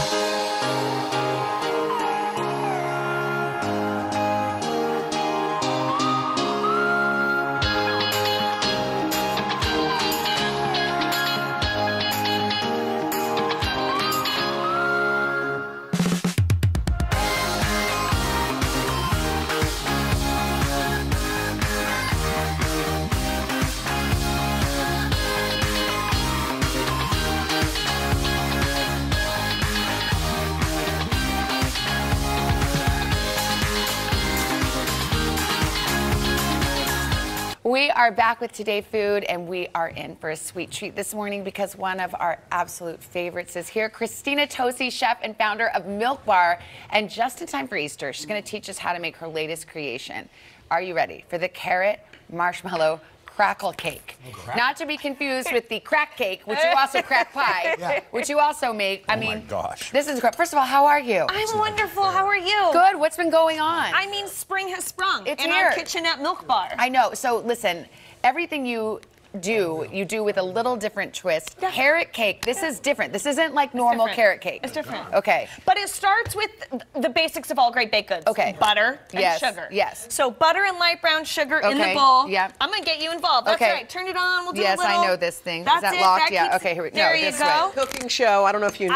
I. You want to know? I'm waiting. Girl, Okay. you just tell me when. Okay, I'll I show know. up. All right, we're doing so a little you mix. cream the Yes. butter and the sugars together. Yes. You add two beautiful eggs. Look at those eggs. These are going to give the cake moisture, lift, richness. Okay. From there, we stream in a little bit of oil, Okay. colorless, flavorless oil. This is going to give our cake that really dense, moist sponge that you're Mhm. used to in any great cake, but especially a carrot cake. Okay. So right now, this is just basically your basic cake recipe. This is just a basic cake Okay. recipe. Yeah. From there, dry ingredients. Yeah. Some flour, some salt, baking powder, baking soda. Baking powder gives your cake lift. Yeah. Baking soda gives your cake spread. Oh, I and never knew it like that. Okay. There you go. And then a little bit of cinnamon. Okay. Everyone has a different take on carrot cake, and mine is about making anyone, whether you love carrot cake or you're not sure Yes. how you feel about carrot cake. This is the carrot cake. Okay, for you perfect. Now- Because we're sort of defying all the odds. I know. So the dry ingredients Mhm. go into that mixing bowl. Now, should I, I know. should I make this it. faster or no? Well, so once you add the dry ingredients to a Mhm. cake, this is a pro tip. You don't want to overmix. I know. You just want to incorporate, right? You want to you want to overmix or mix a lot when you're making bread because you want it to be dense and Mm. stringy and glutinous. But a cake, you don't want. You Okay, it so that's probably enough right tender. here. So that's it. Okay. Oh, whoops. Oh, way to go, Savannah. That's what. Don't overmix it. Wrong way. Okay, don't so overmix. From there, we shred some carrots. Okay. Fresh carrots shredded down. Yep. This is a fun place, by the way. If you don't have carrots at home, you can use any sort of root vegetable. Like what not. else? I mean, Turnip? This is gonna sound weird. Turnip. Thank you, Hoda. Wow. Turn up, Hoda, turn up. Turnip from downtown there. root, beets. Hoda just turned up. I know it sounds crazy, Rutabaga. but it's rutabaga. There you go, Al. Like, okay. Bring one or more root vegetables Okay. How's in. it tasting, guys? It's not even Oh my fair. God. Are you dying? It's out of bounds. This is the All right. way- So I know you're don't like, know okay, I can you did this Okay, I'm gonna get in there. So we fold We- the oh, carrots fold it. into Okay. that All cake right. batter. Okay. What's yeah. the crunchy stuff? So the crunchy stuff is what we call um, our like brown butter crackle. It's this bowl here. It's everything. Oh my gosh. Okay, Okay, bring so that there, over that here. it full So we enough? baked Okay. the cake Yes. Yeah, you in can eat that. advance, and then this is where we start to talk about our flavor story at Milk Bar. So this cake you can get at the bakeries all over the U.S. You can get online. We'll ship it to You You can get it right now if you don't want to do all this. That's right. We got you at milkbarstore.com. But basically, we cut the cakes out into rounds, and then we start to build the cake. I mean, that is so fun. Okay, so layer one is cake, and then what do we add? cake. Then, so let's. I'll put the What is cake this? down. Mhm. Oh my You're gonna go. I know. Get in there. What Just is take it? a little nibble. So it's Oh my gosh. It's milk soaked. This is the crunchies that they're Okay. talking about. Oh my gosh, It's basically bad. like a, a brown butter Rice Krispie treat What's that, just milk? into a What are you layer of doing, cake. just soaking it? This is just a little That's bit of milk to That's keep the pro tip. cake Yeah. nice. It's a That's pro the tip. bow thruster. Yes. So you're Like making a cake bar. at home. Maybe you mm-hmm. overbaked it, whatever. It's Yes. a little bit of cake Little soak. s- okay, and then so our this next- is marshmallow fluff. I mean, I can't no eat it. cream Guys, cheese how does it get frosting, it? We're just making a layer. Marshmallow Okay. fluff. Get in there. You spread it around. No cream cheese frosting, okay. No cream cheese frosting. Okay, I'm trying to This is like the right amount of mm, sweetness. okay. It's all about that crackle, Okay. that brown butter, those mm. toasty I did a notes. terrible job of this. You okay, were- oh, we're out of time. You Okay, what's know this orange thing though? What's that? This is carrot marshmallow Oh, okay. fluff What's that orange? frosting. So we top it with some caramelized crispies, some mini All right, I gotta try this. marshmallows Get to tell right the the flavor crunchy story. part. Okay, I know crunchy this is a big moment, I know, my and friend. it is a Get the huge crunchy. moment. What do You you? could just I like this. Okay, what is it? Please tell me they're part of your cooking show. They're like It's so your good. Oh my club. gosh. Would you That's what's die? next level. I think we have to Christina, I'm going to tell you now. I don't like carrot cake. I love this. I don't think I can make it. Incredible. I've ever had. Recipe slash food, or you can buy it at Milk Bar. Oh my God. Good Thursday morning. Severe weather sweeping across the country. And it's impacting a lot of holiday weekend travel plans. It's April the 6th. This is today. On the move, powerful storm stretching from the south all the way to New England today. The same system that spawned this deadly tornado in Missouri. Glen Allen will never be the same. There's no doubt about it. This morning, a first hand look at the damage.